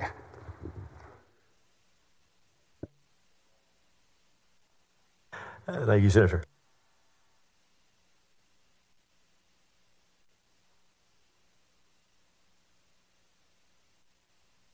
Senator Middleton moves suspension of the regular order of business. Will the secretary call the roll? Alvarado, Bettencourt, Birdwell, Blanco, Campbell, Creighton, Eckhardt, Flores. There being 19 ayes and 12 nays, the rules are suspended. The chair lays out on second reading Senate Bill 175. Will the secretary read the caption? Committee substitute Senate Bill 175, relating the use by a political subdivision of public funds for lobbying and certain other activities. The following amendment. Will the secretary read the amendment? Floor amendment number one by Flores et al.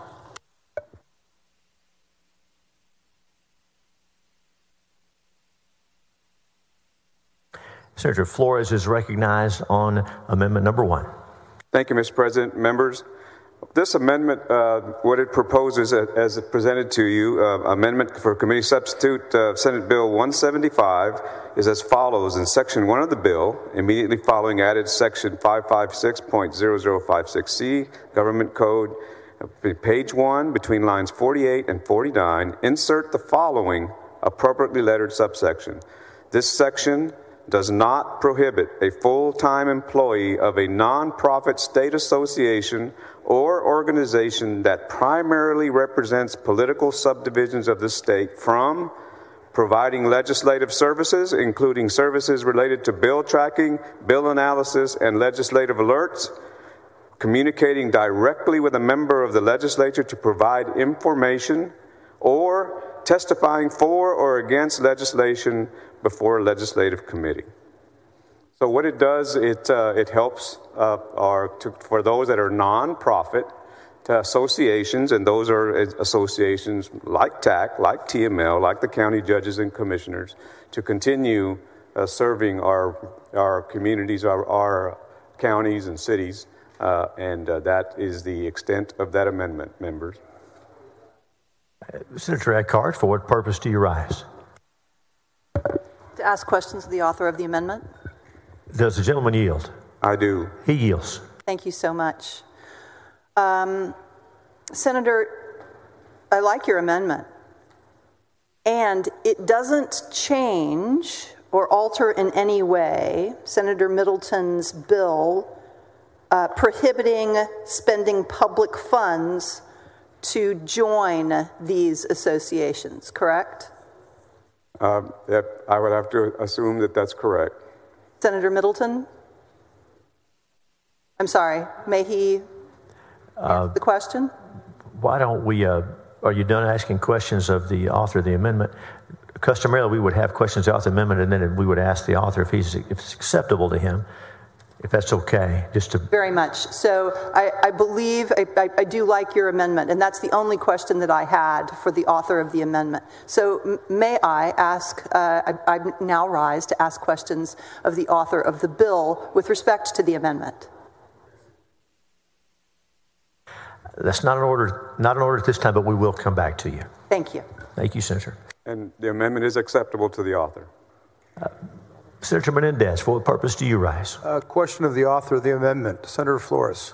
Does the gentleman yield? I do. He yields. Thank you, Mr. President. Thank you, Senator Flores. I was reading your amendment, and so I've read it, and, and uh, it's very prescriptive, and I, and I think it's a good amendment. I, I'm just curious, sometimes when we are creating an exemption, this section does not prohibit a full time employee of a nonprofit state association or organization are there specific organizations that this amendment is drafted to cover to help uh, so that well, they're not? Be, yes, Senator. That this uh, it would be a, a nonprofit organization, and those and so that's kind of descriptive of like TAC or TML or examples like the county judges and commissioners, which are nonprofit huh? and which are currently providing these services to our cities and counties.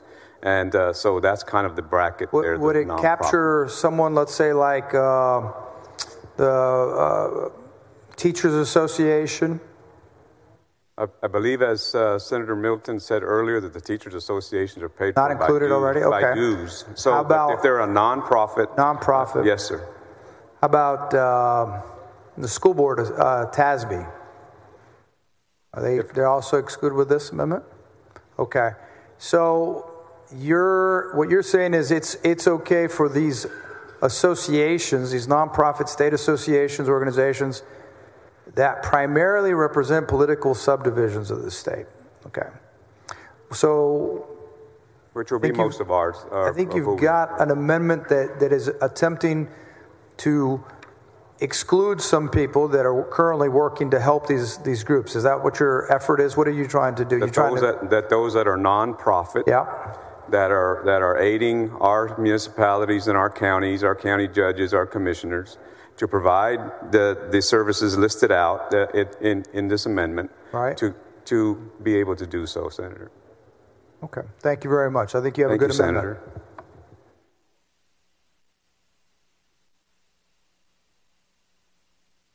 Senator, Senator Alvarado, for what purpose? To ask the author a few questions. The author of the amendment, okay. Do you yield? I yield. The- The author of the amendment or the author? Oh, I'm sorry. Um, not on the amendment. Thank you. Thank you, Senator. Senator Middleton, you're recognized on the amendment. Uh, Thank you, Mr. President. Members, uh, I support this amendment. Uh, It was brought by Senator Flores and uh, a few other members where, you know, we heard a lot of discussion in committee and state affairs where uh, we had a number of, especially small counties, small cities, uh, other political subdivisions of the state.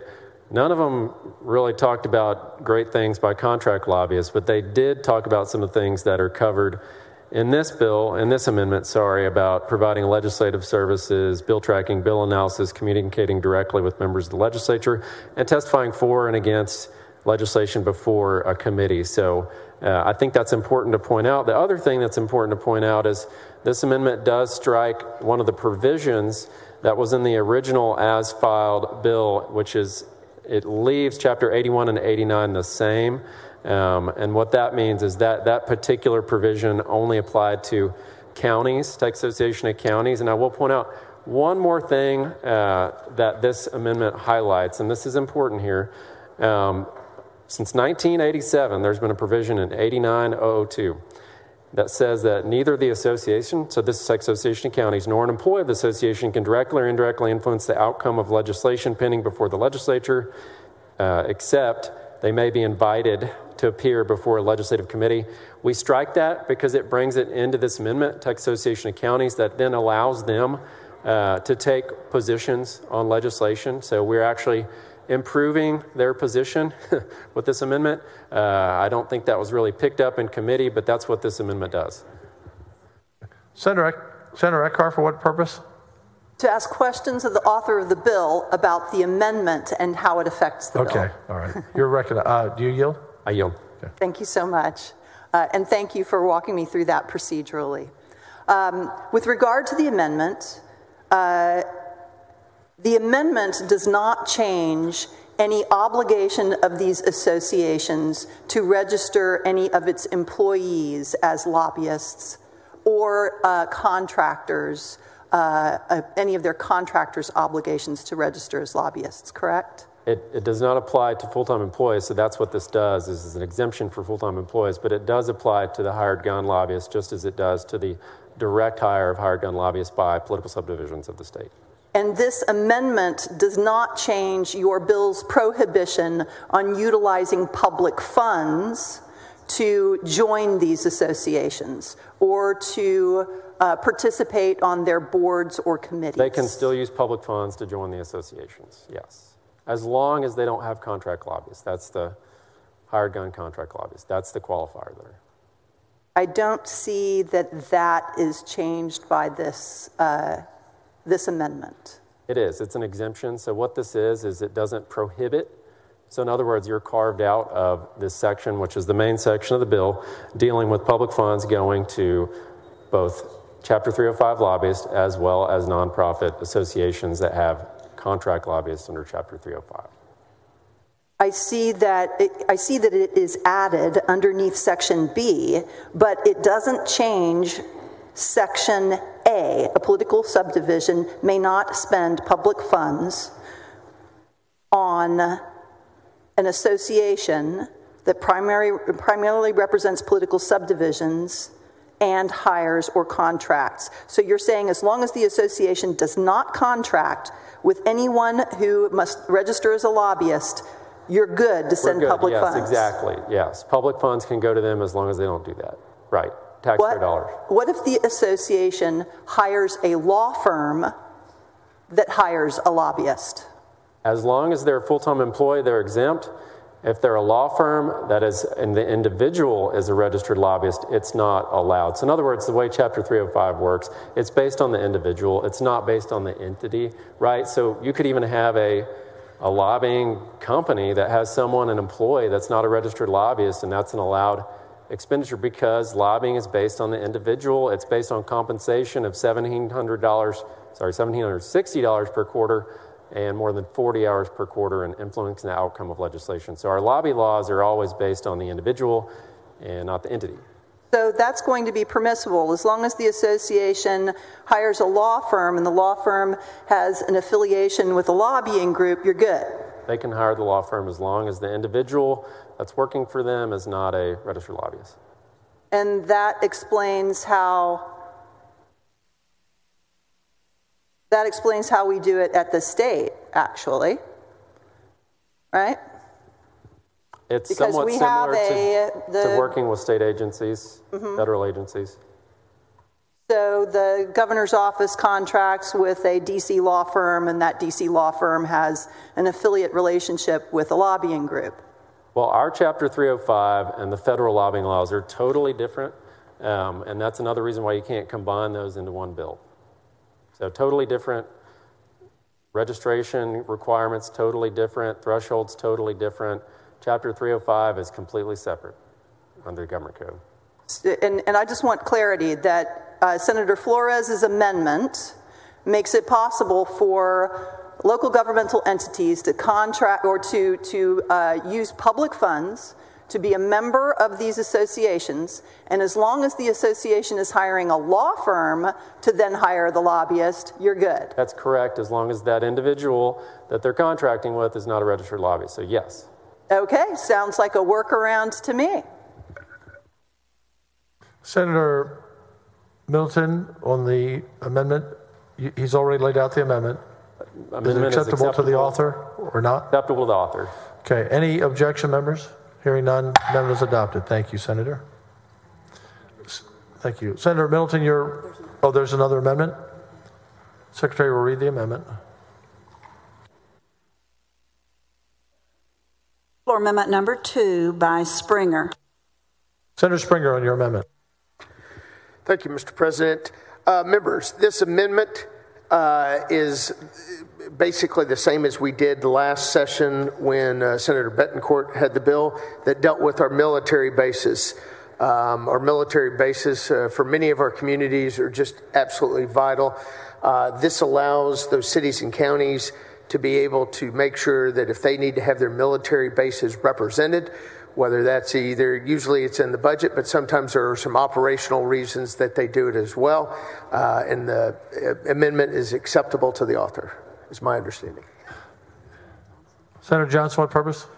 Question of the author of the amendment. Do you yield? Yes, I yield. Uh, did I hear you correctly that these are complex questions being addressed? It, uh, so the purpose of the amendment, it sounded like, is The- because the these are the difficult amendment- questions. uh, the purpose of the amendment, I s- said, was that to our communities, these military bases are, are vital uh, jobs. I personally have Wichita Falls. I know Senator Menendez has all the ones in San Antonio, um, and that they are seeking unique, different things that we want to make sure that, as Senator Gutierrez said last time, that they're able to uh, advocate for. Critically important facilities to these communities, highly complex questions. So you want them to be able to hire lobbyists to make sure the interests of those communities are preserved, right? And we're talking about BRAC closures, potential base closing, yes. Thank you. Senator Menendez, what purpose? Thank you, Mr. President, to uh, ask a question of the author of the amendment for this excellent amendment. Do you yield? I yield. Thank you, Mr. Uh, Senator Springer. I appreciate you bringing the amendment forward. Um, yes, this is an amendment that we've seen before on le- similar legislation. Uh, as you mentioned in your layout, uh, Senator Gutierrez added this amendment. Um, you know, the state of Texas has, if I'm not mistaken, 14 military installations uh, that generate billions of dollars to the state. And so it is critically important for us when issues relating to base realignment and closures, when it's relating to issues of new missions, that we uh, can hire who we need to hire to interact with the Department of Defense and with uh, whoever it is we need to hire. And, and so I appreciate your amendment. I, it, it, is, um, it is critically important for us to continue to be uh, the state that welcomes the most military, active military, and veterans and retired military families in the nation. And so um, I think it's a good amendment. And, and I, and I appreciate you offering it. Thank you. I appreciate your kind words and uh, apologies to those. I know many of the members would have easily wanted to sign on to this, uh, but in the speed and pace, uh, was unable to get those around to everybody. Senator Middleton on the amendment? Uh, it's acceptable to the author. Any objection? Hearing none. Amendment is adopted. You're recognized. Pass the bill to engrossment. Thank you, Mr. President. Members, I move passage to engrossment of committee substitute to Senate Bill 175.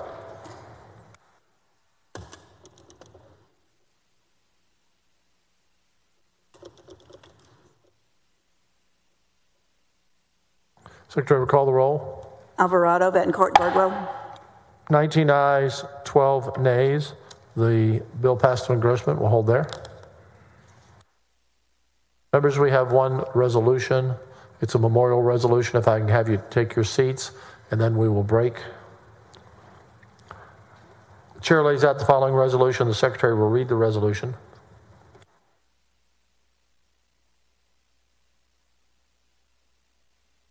Senate Resolution 395 by Hancock and Parker. Whereas the Senate of the State of Texas honors and commemorates the life of Patricia Carla Rogers, who died on March 30th, 2023, at the age of 63. And whereas countless lives were touched by the kindness and generosity of Patty Rogers, whose rich and meaningful life was filled with gratitude, love, and joyful purpose. Led by her servant's heart, she faithfully served as a teacher, role model, and mentor to many, and was a beloved wife, mother, grandmother, and friend. And whereas born on January 23, 1960, Patricia Rogers was an exemplary Texas citizen and an esteemed member of her community. She led a rewarding career as an educator for three decades, and she served as an elementary school teacher in the Birdville and Grapevine Colleyville Independent School Districts, where she was respected and admired by her students and colleagues. And whereas truly dedicated to her calling in education and in serving others, Patty made a positive difference in the lives of innumerable school children, teachers, and families through her compassionate encouragement and her skillful guidance as an educator. Over the course of her teaching career, she received recognition for her accomplishments and for her outstanding commitment to education, which included being awarded Teacher of the Year for the Grapevine Colleyville Independent School District. And whereas Patty was a devoted wife and mother and a cherished daughter, sister, and grandmother, she raised her children by loving, faithful example, and they were a source of great pride and joy in her life. Patty was also blessed with grandchildren whom she adored and who enriched her life immeasurably.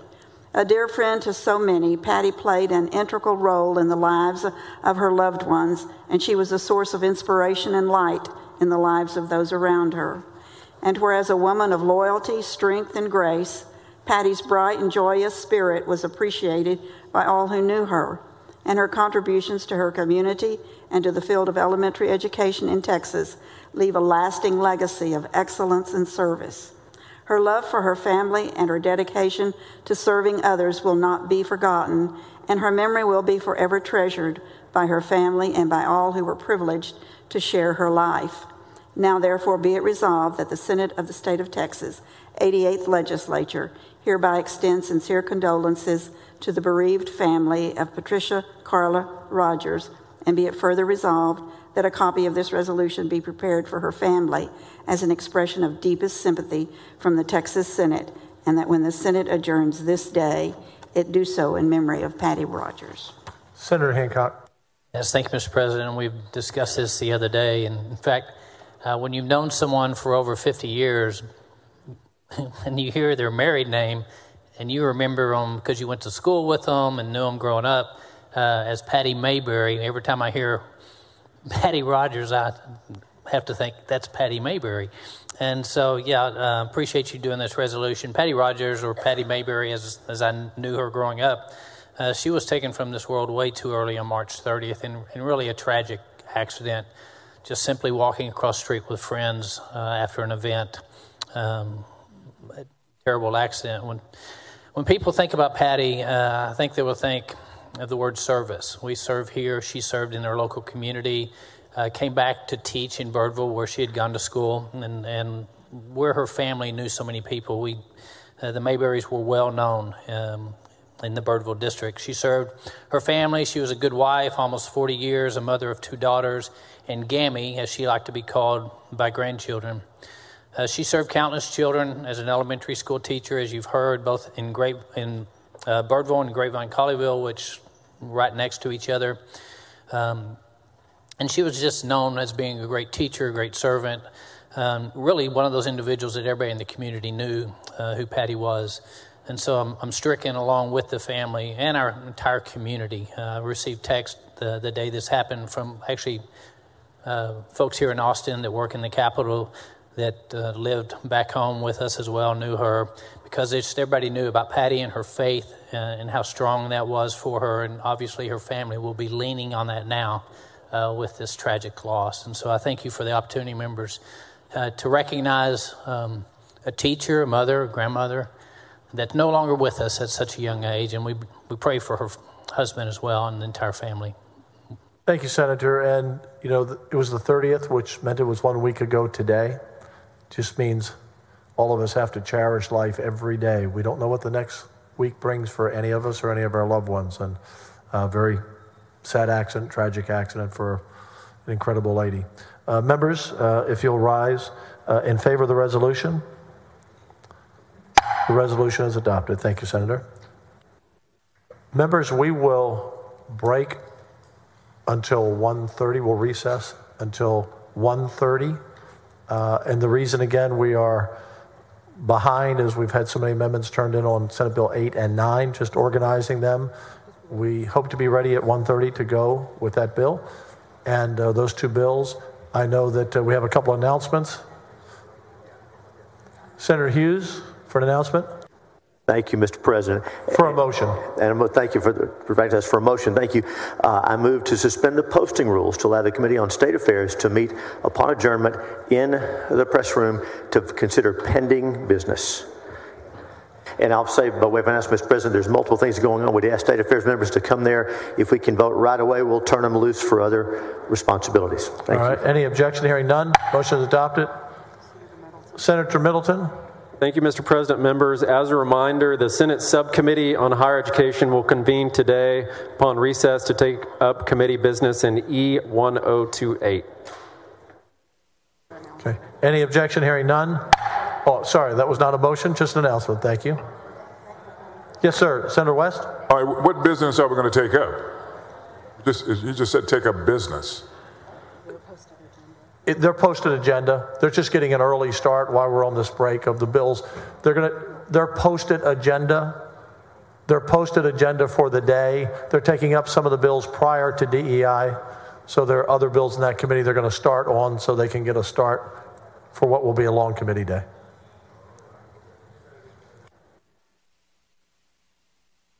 Senator Whitmire for a motion. Okay. Sorry, Senator Hughes? Mr. President, parliamentary inquiry. Are we adjourning or recessing? Recessing.